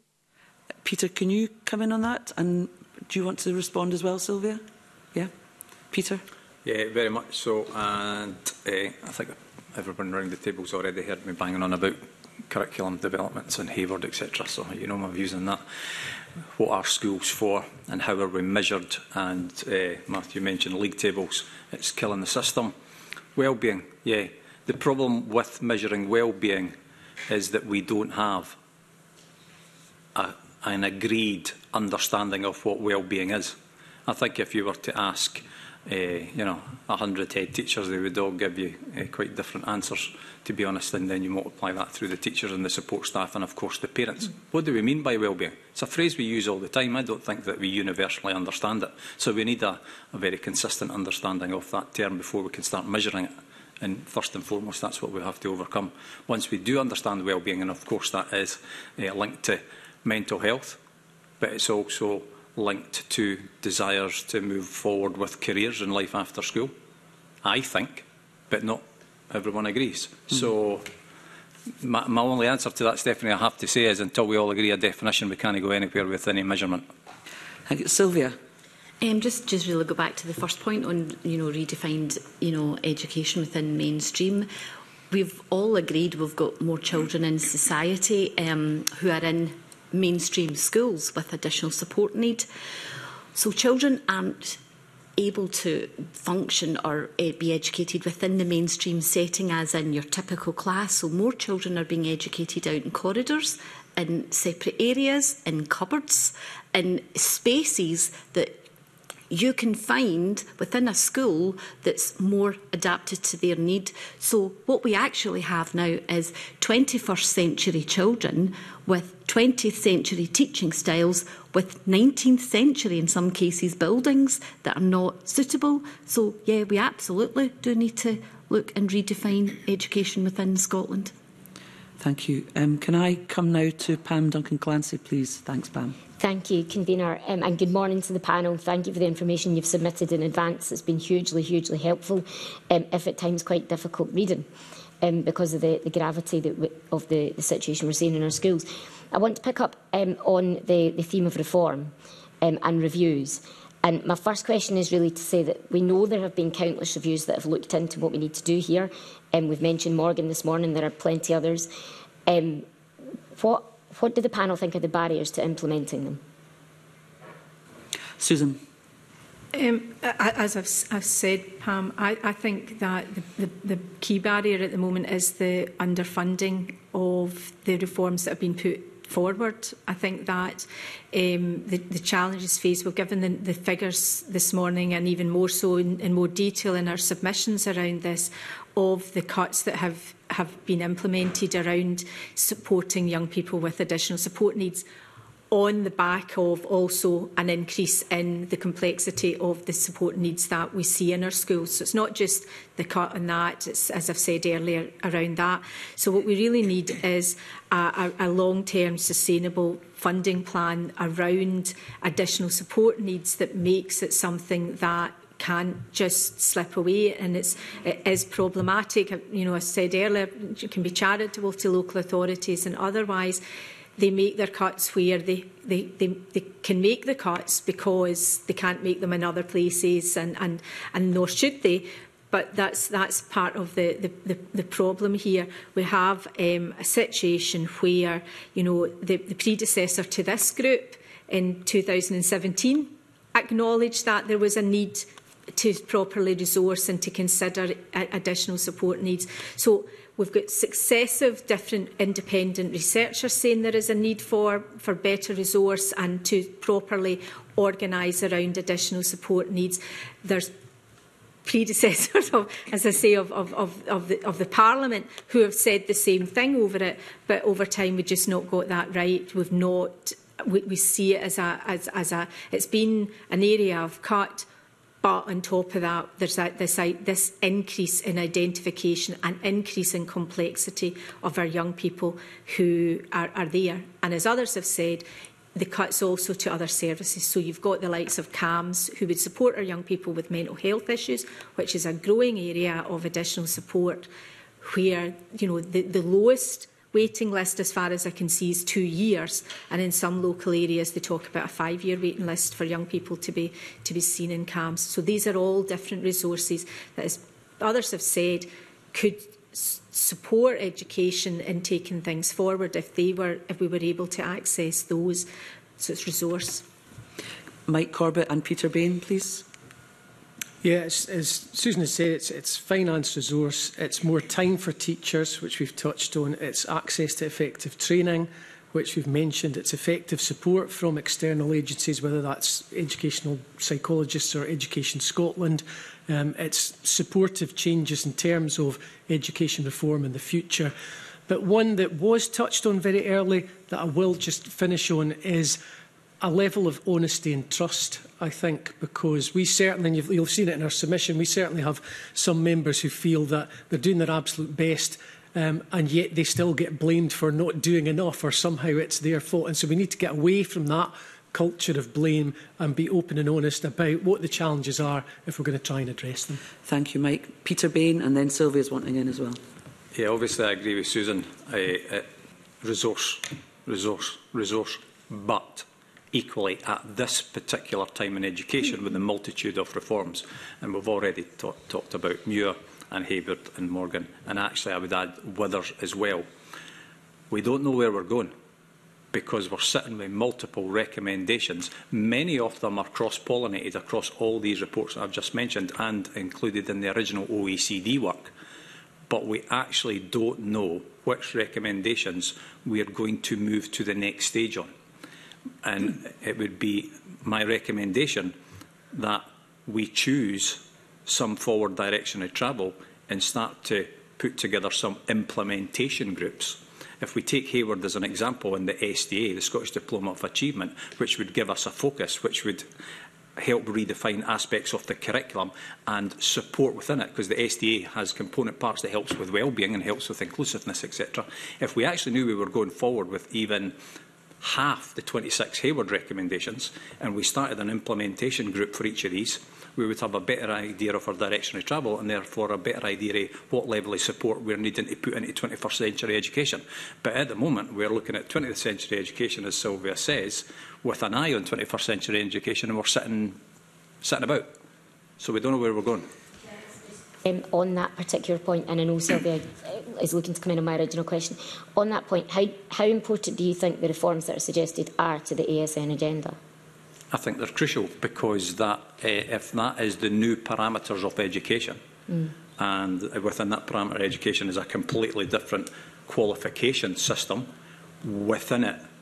having wellbeing components, for example, uh, if we know that, then we know that level of support that would be necessary to not just achieve the qualification of the SDA, but to achieve the ideal sitting behind the SDA, which is to have a more holistic appreciation of what education is all about. And it's not just about the hires. That's one of the three component parts of the SDA, for example. S Sylvia? Well, just to come back on on the barriers, you know, I had met with support, and it's great that we're all talking about the Angela Morgan review, which happened, you know, about four years ago. And people, well, I go into schools quite a lot, and when I say ask about the Angela Morgan review, very few people knew about it. So at least it is filtering down, but it's very slowly getting there.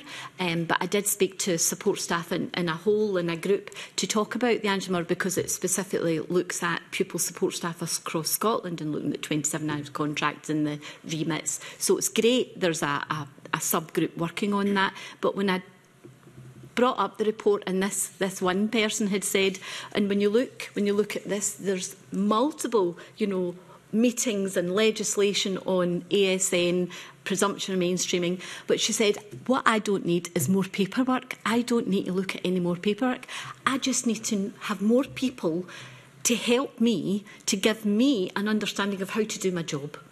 That's, that's what it comes down to. It's just people, we need more resources, more people instead of cutting, not more paperwork to throw at when nothing happens out of it.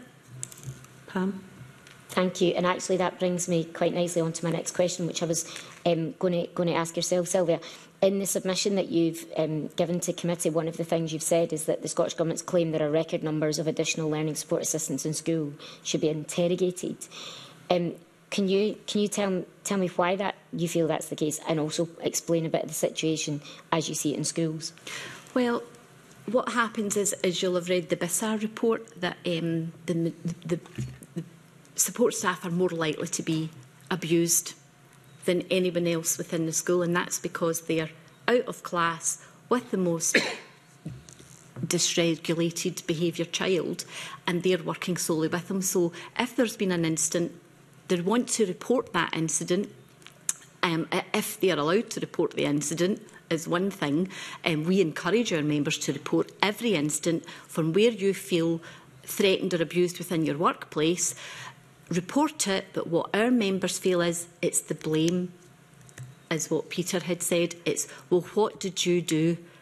What did you do to upset that child? Because they were fine before, before you came in. What did you do? And that's time and time again. So when the blame culture comes in, staff are less likely to want to report it. And we've been insisting in Glasgow that because there's massive under recording, massive people will say they are reporting it, but that's if they're allowed. A, if they're allowed to do it. A, they're shown how to do it. Debriefing. Debriefing is absolutely crucial. And debriefing isn't about blame, it's debriefing is about working out at that situation in time could we look to minimize that happening again so that we can learn from that instant It's not about, well, what were you doing? Where were you? Don't you be sitting there? Have you read that risk assessment? Nobody's seen a risk assessment. So there's the blame culture, so they do feel that they're being interrogated um, if if they get interrogated, that is because they're quite they don't get asked even how they are after an incident. It's just back to class and you go. Th thank you, and I know that my colleague is going to come on to talk a little bit about some of the um, experiences you're describing around behaviour, etc. So if it's okay, I'll speak. Um, I'll, I'll move specifically on to the point um, that you made just now about they're not necessarily getting sight of plans. Was it you said or? yeah. um, information. Can you talk a little bit about that and what support staff need in order to be able to, to do the job appropriately? Well, if, if you're, you're typical child comes into school and they don't um, display any distress or dysregulated behaviour, they will not have a behaviour support plan. They will not have a risk assessment. They won't have any of that there. But children, more predominantly now, are in society who display dysregulated and distressed behaviour but the support staff are not because a, they're not seemed worthy. Now, this is not across the board, so head teachers sitting at this table don't take offence, but there are, and it, more often than not, that information is not cascaded down to the support staff. You're told you're going to work with a pupil who's on the autistic spectrum order, you might be given information as they're a wee bit tricky, so just be careful. And that's all you're given. That's as, as much as you know. You're not given any whether they have a diagnosis or not, it's about what does that child need. That child will have a risk assessment. That child will have a behaviour support plan. And that is where you will have the developed strategies and coping mechanisms on how to work consistently with that child. And you're not given access to that. And we fight continually for our members to say, go straight to the, the line manager and ask, where is the risk assessment? Where is the behaviour support plan? Because I'm, I can't go back into that situation until I'm fully understanding of what who I'm going to work with and what I need to keep me safe in my job and also to, to support that child within the, in the school. Thank you, Sylvia. I'm sorry, I'm going to have to move on if that's okay. Okay. Um, okay. Uh, Bill Kidnow, please. Thank you. Thank you very much, Convener, and thank you um, to all our guests. Now, you covered this point a bit earlier, so, um, but I think it's an important factor, and it's about parental involvement and engagement. And um, so I'm going to, I've got two questions here, but um, because you have covered a lot of this, I'm going to put them together. Um, how are parents and carers of these Uh, pupils with complex needs, how are they um, encouraged um, to be involved um, in discussions about their actual about their children's education, and what factors um, are required to ensure that um, this works well? You know, how how does how do people work together in order to bring that? And how are pupils informed about their rights to support and dispute resolution and legal remedies? um, you know, in terms of tribunals and such like, if it goes that far. So you want to avoid it going to tribunals, obviously. But, um, but how are um, parents, first of all, involved in their discussions about the education? And if there are queries here and there, how are people, how are parents in, um, informed about what, what to do next and, and where things can, uh, can benefit their children most? please. Susan first, uh, and then we'll look for others. Um, I, I think that in good practice, it, it will be that schools will have developed um, positive relationships with parents to, you know, engage with them and to, to fully support them. Um, they, to, to make sure that they are they're they're, they're well informed as, as well informed as they can the school can provide them they may signpost them to other areas of support if it's beyond what the school you know is advocacy side of things can be so there will be you know there can be um, you know in terms of you know the social work area in terms of disability act and, and work around that we can we can direct in those areas if there's if there's a dispute then the local authorities will have processes in place you know for complaints to be made and for for parents to engage in that and they'll be if a parent wants to raise a complaint then they'll be informed about what that local authority's process is in terms of complaint and in terms of move to tribunal or otherwise um, around that. So there should be very clear in every local authority those kind of process ar processes around it. But in the first instance, I would expect that um, schools would have developed and nuanced relationships with parents to make sure that they were able to support them the best they can. That sometimes has to be that you have to pass them on to somebody else to, to get to advocate or otherwise around it because it'll go against you know the local authority but it would, would be that you would have those kind of nuanced areas. One of the challenges around that can be um, where parents see themselves within the, the system and poverty and um, you know their, their, their positions can, can make that make that difficult if they already have put up barriers to um, to, to, to in with the school or otherwise because of their own personal experiences or otherwise. It takes a bit more work to break those down and to try to get to to that side of things, which is why we see, you know, higher levels of young people in poverty with with some of the challenges, more, more, more significant challenges, not being addressed as quickly as we would want, because because we've got to guide our parents along a bit more and, and coax them into to those positions, and that, that that can be a barrier to it. But I would expect that schools, in the first instance, would have developed those relationships, and then provide them with the direction. Obviously want to be avoiding anything, disputes and all that Absolutely. sort of thing. So information about why uh, the children are in whatever situation they are being educated in, and a bit more involvement and maybe sort of bringing the parents and carers on board would avoid having to take things uh, to that sort of advanced position, I suppose. Schools can work with the parents. It minimises the, the, the dispute, certainly around, around that area. But the challenge will always be where it's a parent belief is that their young person should have a you know a place in, a, in another provision mm. and and this it's not in the school's gift to give that provision that's a local authority decision we can only guide them to the, the, the areas and to, to give them the, the processes that are there. Yeah. So and, and encourage them,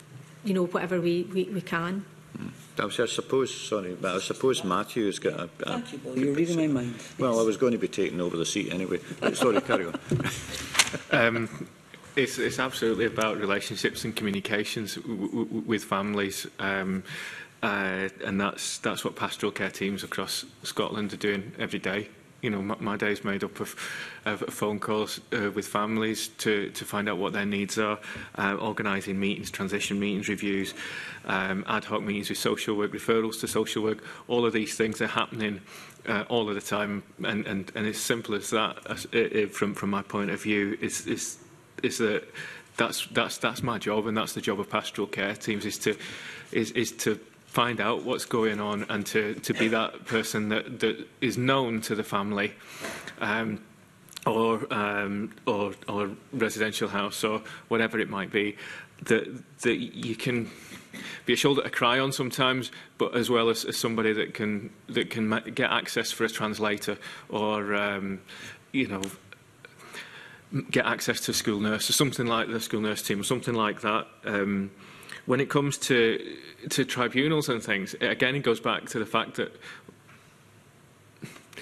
there's an inequitable situation when there's, there are families who are more equipped to, to be able to resort to, uh, to accessing their legal rights. Um, and, and it does mean that decisions that, that I, might, I might see happening in, in, in my work wouldn't be the most equitable that's, that's just a fact of life. But then that's the job of schools is to work with that within the law, obviously, uh, and to support those, those procedures. But there are times when it is very challenging working with some families whose, whose expectations and demands are inappropriate or unrealistic. That's, that's, and, and that's, um, again, that's a skill that pastoral care teams just, just get through, through the work that they do. Very helpful. Thank you very much indeed. Oh, sorry, Peter. Peter? Sorry. Uh, just a tiny point on the flip side of that. Uh, what Susan said would be my answer. But there's a tiny wee bit on the other side of that, which is parents. As much as we have a lot of parents who are, have high expectations, and quite rightly for their own children, equally we have a number of parents, of significant number, who refuse to accept that their young people, their children, have any issue despite them clearly having a number of issues that impact on themselves and their fellow classmates and the teaching staff and the ASN staff that we have to put into place despite the fact the parents refuse to accept that there is any need. They will refuse to have any level of diagnosis undertaken. They will refuse for the child to have a discussion with an educational psychologist, a health professional, a social worker, anybody. They will dig their heels in and say, my kid's normal, put them in a class and they'll get on with it. And there is a significant number of them. And because we can't get them in front of a, a professional from out with the school, we are unable to access the level of support that that child, that young person deserves because the parent just refuses to accept that.